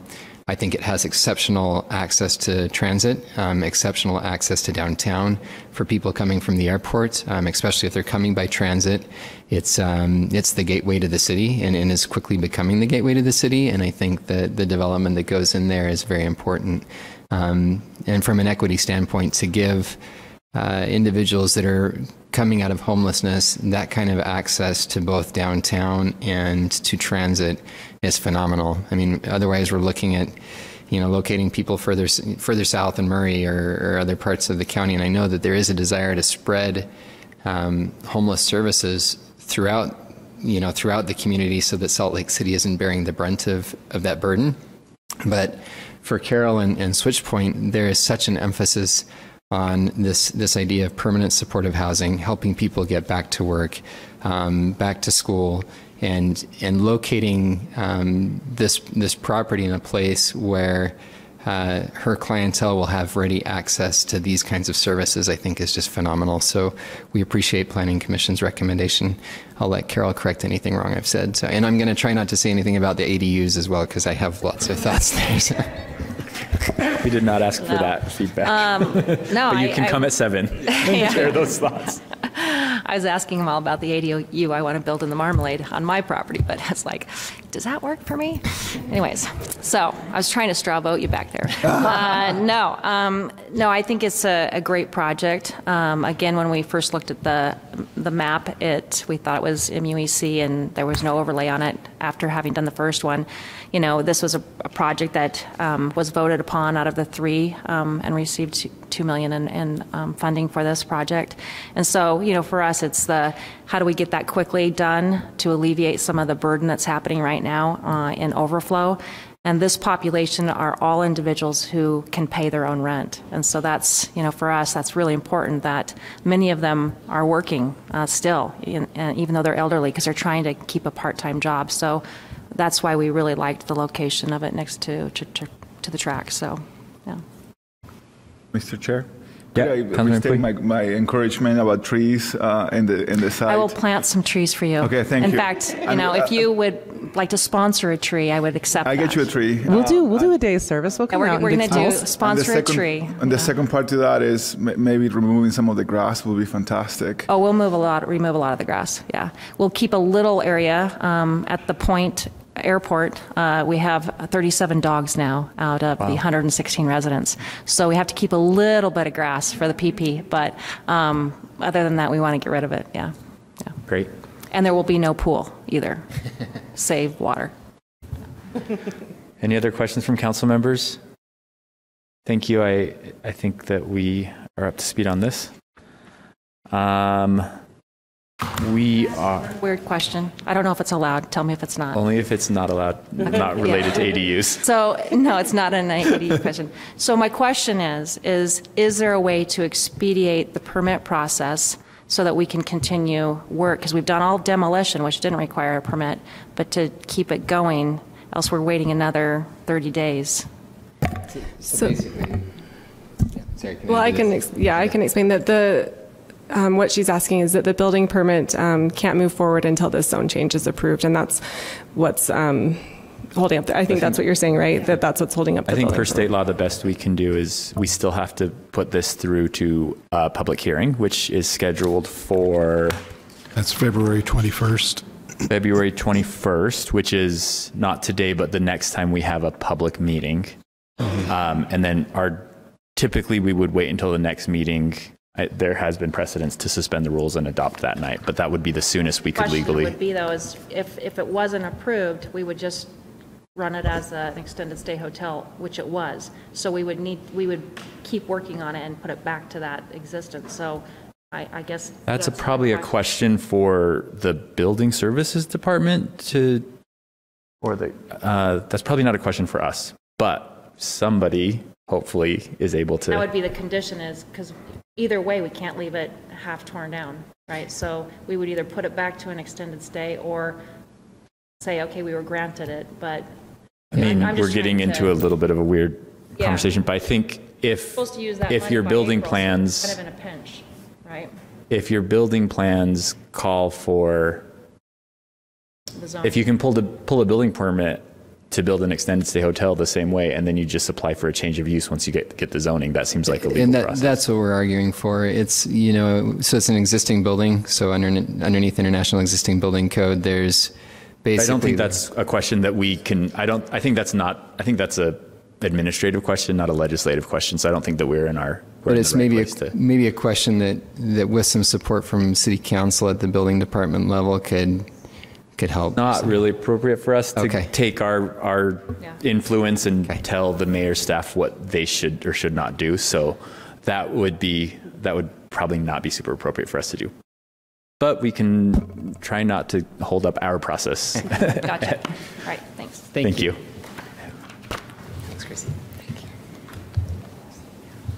All right, we are skipping item number 10 and we're on to item number 11, which is an informational update on the State of Utah Fraud Risk Assessment for 2022.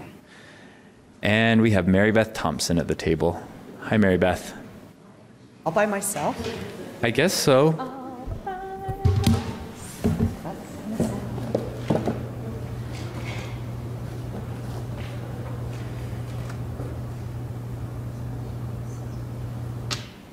Um, Good evening, council. And um, we usually do this with the ACFR, and we forgot to do it with the ACFR, but we are required by law to go through the risk assessment and show you the fraud risk risk assessment according to the state auditor's office. Um, I'm going to be maybe five minutes, so I'll give you five minutes back. Um, so this is required by law for us to go through and do an analysis on a risk assessment. On page two, you will see we earned 375 of a possible 395. It is very high if you are over 200. So we are well within our um, regulations and requirements pertaining to the fraud risk assessment.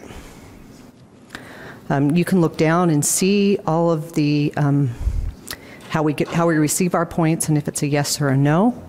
And then um, both the CAO, Lisa Shaffer, and myself need to sign this, and then we transmit this to the state auditor's office when we transmit our ACFR. Less than five minutes. Thank you, Mary Beth. So I'm hearing that we scored 175 points above the minimum. Correct. Which sounds great. Any questions from council members? Thank you for keeping us in such a healthy position. Thank you. Have a good let's, night. Let's assess those risks. Thank you. Thank you. All right, we are on item number 12. That is a board appointment, and we are now just a couple minutes ahead of time. Do we have Julie Bjornstad with us? Hi. Hi, Julie. So Julie Bjornstad has been appointed by the has been recommended by the mayor to be appointed to the Transportation Advisory Board. Julie, we are excited to meet you. Just give us a few minutes of your time to explain who you are, why you're interested in this board, um, and how you found out about it. Yeah. Um, so I've been a resident of Salt Lake for the last um, 15 or 16 years, actually, in your district, um, Councilmember Mano, and uh, have worked professionally as a transportation planner for the last 15 years. Um, currently employed by the Wasatch Front Regional Council as a senior transportation planner. Um, and I'm interested in the position, or I guess I heard about it through um, Jonathan Larsen, the transportation director. Um, and I'm interested in the position as obviously someone who comes from a transportation planning background, um, but also who thinks that Salt Lake City is the best city in the state um, and quite possibly the nation, and would like to keep us mobile as we continue to grow. Um, and excited about what's been happening recently with the Nine Line, um, converting the Nine South and 11th East to Roundabout, for instance. Um, the conversations we've been having about transit and fares, um, and just trying to get our city to be as bike friendly and walk friendly and transit friendly as we can be. Thank you, Julie. Appreciate that introduction. Thank you for your willingness to serve the city. Council members, any questions or comments for Julie? Thank you um, for being willing to volunteer your professional expertise and your time, your personal time. Uh, you are going to be included in our consent agenda this evening to be confirmed. Uh, no news is good news, and you can assume that unless told otherwise, you have been confirmed, and you do not need to attend the meeting. But of course, you're always welcome to join us. All right, thank you guys and gals and other folk. Okay, that is all of our agenda items. We're on to standing items. First is the report of the chair and the vice chair. Vice chair, do you have a report? I do not either. But I do believe that our executive director, Cindy Gust-Jenson, has many announcements. Yeah, yes, and I'm looking for them now. Sorry, you guys are faster than I thought. Um, while she's doing that, we do have a closed session scheduled after the announcements, and I think we'll be doing that during dinner break. Okay, I found them. Go ahead, All Cindy. right. So um, you have received a notification, this is in your email, um, about the, um, uh, some pieces of art that are in the city's collection that are proposed uh, to be uh, decommissioned, basically. Um, one is bench sculpture, um, untitled At Bend in the River by Paul Heath, Lindo Nolan, uh, Louise Freshman, Wayne Geary at Modesto Park. And then the other is um, three concrete furniture structures, sugar house benches. Um, and the recommendations are based on multiple factors, including a lack of structural integrity, repeating and ongoing issues with vandalism, unreasonable cost for repair, and safety concerns. So the city does have a system to periodically evaluate artwork and then decommission those that have served their um, life. So Cindy, what happens when something's decommissioned? Nice. Is it like, I mean, these are cement, like benches. Is it like dug out and put in the basement? I think it's disposed of. I do have some questions too because I got a list of parks, the city, you know, the bond money and all of this, and this is one of the parks, Modesto. So I'm, I would like to learn more about the process on this, if there is a way of learning. Hey, I'm, I'm sending you telepathic messages. Do you know anything right now, or should we follow up with the council? Okay, thank you. All right, um, and then we have uh, feedback requested on neighborhood park projects uh, in the $85 million Parks, Trails, and Open Space Bond. And the uh, council member feedback is welcome. Um, and would you like to hold a discussion in future work sessions? Would you like to have small group meetings? Um, they're interested in preparing a process, um, and you would need to hold public hearing and approve the use of bonds in a budget opening uh, before the city spend the funds. So, Do you need direction from us on that?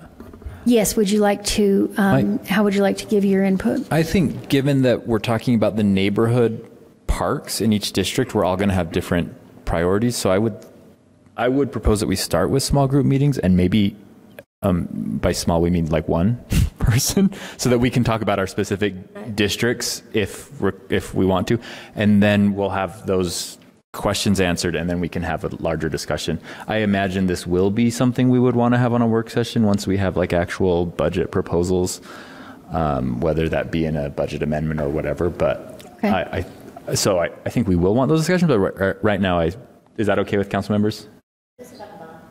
About the bond and the neighborhood parks. Let's start Yes. with our. Okay, thank you. And then if you do have thoughts, um, share them with your liaison or Ben in our office so that they can give the administration a heads up about what you're thinking so far. Um, then we have been invited as a courtesy by the administration to provide some feedback for their internal budget review committee process. Um, they have a matri- matrix of um, things from the mayor that they will be uh, looking at as they evaluate the internal budget um, requests from the departments. And so uh, we were asked to coordinate with the council on uh, finding some possible uh, feedback from the from the city council. We our staff did a quick list based on your feedback um, at the retreat, even though the retreat wasn't designed to come to any conclusion, um, and then also just based on what you um, generally talk about. So the list that uh, is is just rough, but we came up with is um, uh, equity, stabilizing and optimizing the response models. So there's been some talk about is it time to evaluate those yet, or is it time to get them stabilized and um, that type of thing? And this was stabilizing and optimizing was the suggestion. Um, then, uh, in general, homelessness, uh, maintenance of public spaces, transit and transportation, land use and development, affordable housing, business support slash economic development, and then overall emphasize the stability of current programs um, over the idea of creating new programs. So stability uh, was an ongoing theme throughout those. Um, this would just be feedback um, that was shared with the administration, and then they would decide um, how to consider it in their process. And Cindy, my understanding is they need this feedback by Thursday, which is why we're doing it as an announcement today rather than a longer discussion. So it's not like you're going to be held to this. This is like, did we capture? Um, and what we could do is, um, you all, I think, have a copy of the announcements, I hope. And maybe what you could do is um, give, if you don't, we'll get that to you. Okay, we will get you those. Then you can get your feedback to um, the chair, vice chair, or um, one of us. Okay? Um, before Thursday. And then um, next item is uh, we need your help because we need a council representative to the Utah League of Cities and Towns Legislative Policy uh, Committee. Right now, uh, we're able to fill uh, two slots. One of them is um, filled with former chair uh, Dan Dugan and Amy. Councilmember Fowler, Vice Chair of RDA, has filled the other one uh, her work situation is changing and it's difficult for her to make the meetings. And so she wanted to see if anyone else could fill in. Um, the chair and vice chair were asking, uh, and and also Councilmember Fowler recommended um, Councilmember Petro. in that slot, and she was interested in that.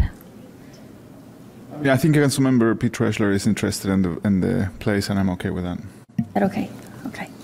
Is that okay with everyone? Yep. Okay. All right. And then um, uh, city's grant application and process. Um, ooh, oh, okay. Now, yeah. Would you? Okay. Okay, so was- we, this is following up on several discussions we've had recently about how, um, what level of information and oversight we want on the grants that the city's applying for. So there are a batch of them on tonight's agenda. Those, since they're already scheduled, we're planning to move along the same, the traditional process that we've been doing uh, in terms of agenda, uh, uh, consent agenda, etc. The discussion is whether or not we want to amend that process for times, for instance, when FTEs are being added by a grant. Do we want to, before putting it on for public comment, have a work session or things like that? And so I think the discussion is what's the best process for doing that? Um, and is that something we want to delegate to council staff to say, this may be something of council member interest, let's schedule that for work session? And if they, in their judgment, don't think that it's something that we would be opposed to, then do the same process that we've always been doing. Of course, we still have the information, we can look through it. And if any council member individually says, I would like to pull that one and put it on a work session, then they can reach out to chair, vice chair, or staff. Does that sound like an okay process? Okay. So, so council staff, please use your judgment to say if you think that we, we as the council would be interested in having that on a work session, then we'll schedule that. And if any individual council members want something to be work session, let staff or chair, vice chair know. Okay. So not a subcommittee approach, just a staff. Start with staff, right? I- Is that okay? Or the other option was to form a, like, formulate a subcommittee to review them all? If I can, I think I've mentioned this the other day. uh, Sylvia does a great job with the staff reports, and I think if that's okay with staff to say this includes an FTE, we know that the council is going to want to hear this, or this includes ongoing costs after three years. Okay. All right. So, and what we'll do is come back to you with what we think you've told us about criteria. Chris has something. Chris? I've Uh, just- Councilmember Wharton? I I don't feel that I need like a report for each grant. Like if there's a batch of grants, can we just have like a table of all the grants? Because I I don't want the packets to be longer. Um. So you. So I would rather have like. You would rather stick closer to the process we have now. Well, no, what I'm saying is if we're going to add information to the packets, like I would like it to be extremely concise. Okay. Um, yeah. Okay. All right. Very I, good. I also resonate with that. Yeah, I mean, I love the packets. I love having all the information there, but it's just, it's sometimes it's unmanageable. Yeah. So, Okay.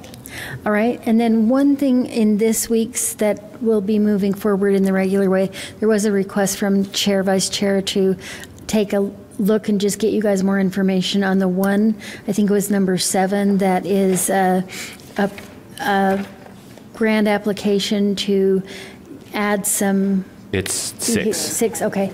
Uh, The uh, possibility of charging stations at affordable housing and possibly vehicle, not clear whether that would be um, a city administrative effort or whether that would be in, in collaboration with uh, the, the organization that manages the housing. So we'll just ask that question and come back to you with an answer, but there was no interest in holding it up. It was just a piece, a request for info. Okay, that's it. Good. Is that last announcement?